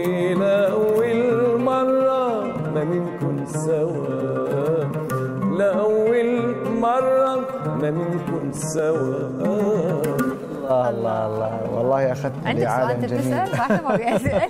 يعني فعلا اخذنا لعالم جميل أستاذ عامر. شكرا لك على هذه السعادة اللي تنشرها آه، لا شك آه، أن آه، يعني آه، الموسيقى الصوفية ملهمة جدا و وتغذي مثل ما ذكرت الروح وتهذب آه، النفس. دعنا نتحدث عن آه، كيفية تناول هذه الموسيقى الصوفية وكيف تساعد في آه، تهذيب النفس وهي منتشرة في حلب ولها لها تاريخ قديم يعني دعنا نعرج على هذه الموسيقى بالذات الموسيقى الصوفية الموسيقى الصوفية والألحان الصوفية. والأناشيد خلقت بدءا بدءا بداية بالتجويد القرآن. نعم. تجويد القرآن التجويد لازم يكون صاحب صوت صحيح. حسن كما تفضل تعرف. وصاحب تكون يكون صاحب نغمة. صحيح. نغمة صوت صاحب جميلة. نغمة جميلة. حتى يكون أداء التأثير. تأثير. أيوة التأثير يأثر. يختلف. أيوة. آه فالأناشيد نحن عندنا بحلب في عندنا ذكر. نعم. في ذكر. بيقولوا له ذا- زاوية بذكر ذكر الله. إيه جلسة ذكر أيوة، أناشيد بتوحيد الله سبحانه وتعالى. وحب النبي صلى الله عليه حب- حب النبي وسلم. صلى الله عليه وسلم. الصلاة والسلام. آه، وفي آه، طورت هي سبحان الله بت- بتوصل عند اللي بالذكر بال- بالأناشيد بالموسيقى الصوفية وال- والموشحات. نعم. الموشحات ال- ال- ال- الدينية. الأندلسية أيضا. اندلسيه والدينية نعم. والدينية أيضا. في أندلسية وفي حلبية دينية. جميل. في أندلسية قديمة. نعم لا شك. وفي معروفة. حلبية تلحين ملحنين بحلب. قدماء. آه، بيشعروا سبحان الله ب بنشوة. صحيح. روحانية. نشوه روحانية لا توصف. نعم. بيوصلوا للنشوه القشعريرة يعني. صحيح. تأخذك لعالم الملكوت عالم يعني. الملكوت. نعم. سبحان الله نعم. أكيد. لا شك. أكيد سبحان الله. جميل. يعني آه، فعلا آه، وانت اليوم ما شاء الله بي بي بس أيضا بصدق ال- ال- المؤدي أي. بصدق صدق المنشد نفسه. أكيد. نعم. بيكون قدير. نعم. صحيح. بيكون بيكون قادر ومتعلم وصادق أيضا. وصادق أيضا مشان صادق ب- ب- بعمله ب- ب- مشان يوصل يصل إحساسه يوصل إحساسه. للآخرين. المستمع. أكيد. وهذا وصلنا صح صراحة لسانك. إحساسك أكيد. صح. لسانك كمان الله. يعطيك العافية. كلمه أخيرة تقدمها للجمهور. تسلم. آه كيف؟ كلمه أخيرة تقدمها كلمة للجمهور عن موضوع الموسيقى واهميه الموسيقى. الموسيقى أسمى أسمى أسمى شيء في الدنيا. آه سبحان الله يعني الموسيقى هي وأفضل أفضل الهوايات على الإطلاق صحيح. أفضل الهوايات. نعم. تكون بتروح الكآبة. تذهب الكآبة. نعم. تذهب وتهذب النفس. تهذب النفس. آه، المريض بيشعر أحيانا والله بيخف أحيانا واحد صداع. صداع يعني أحيانا بتعزف موسيقى. والله خف صداعي والله يخف يعني. نعم لفتتني كلمة لأحد المفكرين. قال يعني إذا أردتم أن تحموا أبنائكم من آه، طبعا كل آه، المشاكل النفسية علموهم على الفن. الله. يرسم الله. آه، يغني يعزف يعني لوحة جميلة تلاقي يرسم- سبحان الله الفن الفن ي- يعني الفن يجعل يهذب. الإنسان يقدر الأشياء حوله. أكيد. يقدر الجمال. أكيد نحن أكيد سعيدين. أكيد أكيد. يقدر الجمال. إن الله جميل ويحب يحب الجمال. الله يحفظك. أكيد. إحنا أكيد بنختم. بحلقتنا بس بنختمها معاك. أكيد بنودع. المشاهدين وبنرجع مع صوتك العذب نعم. أكيد وصلنا. المقطوعات الجميلة. نعم حسن. أكيد وصلنا أكيد لمشاهدينا لختام الحلقة لكن حابب تقول كلمة أخيرة قبل لا نودع المشاهدين؟ تسلم يا رب الله يسلمك. يا سيدي أنا أشكر أشكر قناة الفجيره الله نحن اللي نشكرك على وجودك والله. اللي اتحتوا لي الفرصة أشوف ال- الوجوه النيرة الله يطول. عمرك. الجميلة الرائعة الله يطول لك اللي. عم ترعى الفن والفن. وهذا البرنامج سبعة على سبعة ما شاء سعداء الله. أكثر. صاير نمبر 1 اللهم الله صل على النبي ما شاء الله. أكثر. شكراً جزيلاً. تبارك الرحمن عليكم. الله يحفظك يا رب مشاهدينا أكيد وصلنا للختام بس بنختمها مع الصوت الجميل مع الفنان. نسمع. سيبوني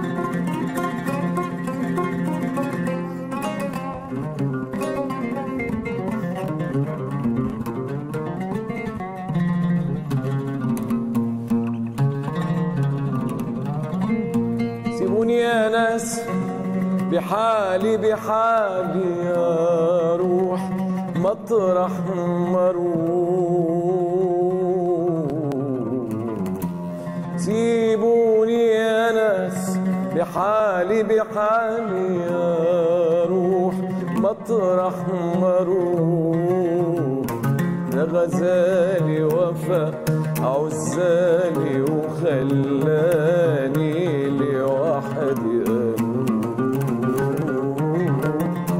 ده غزالي وفا عزالي وخلاني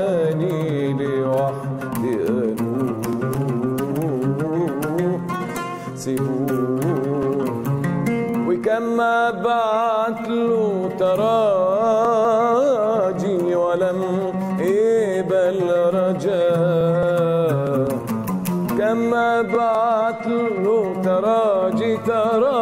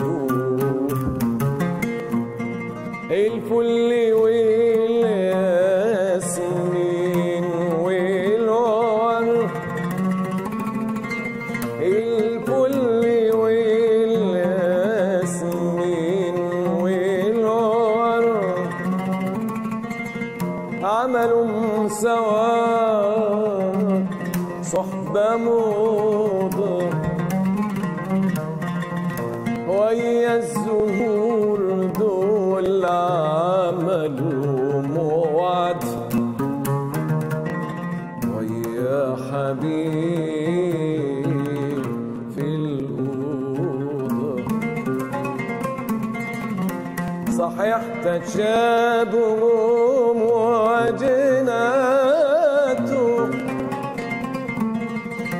صحيح تشابههم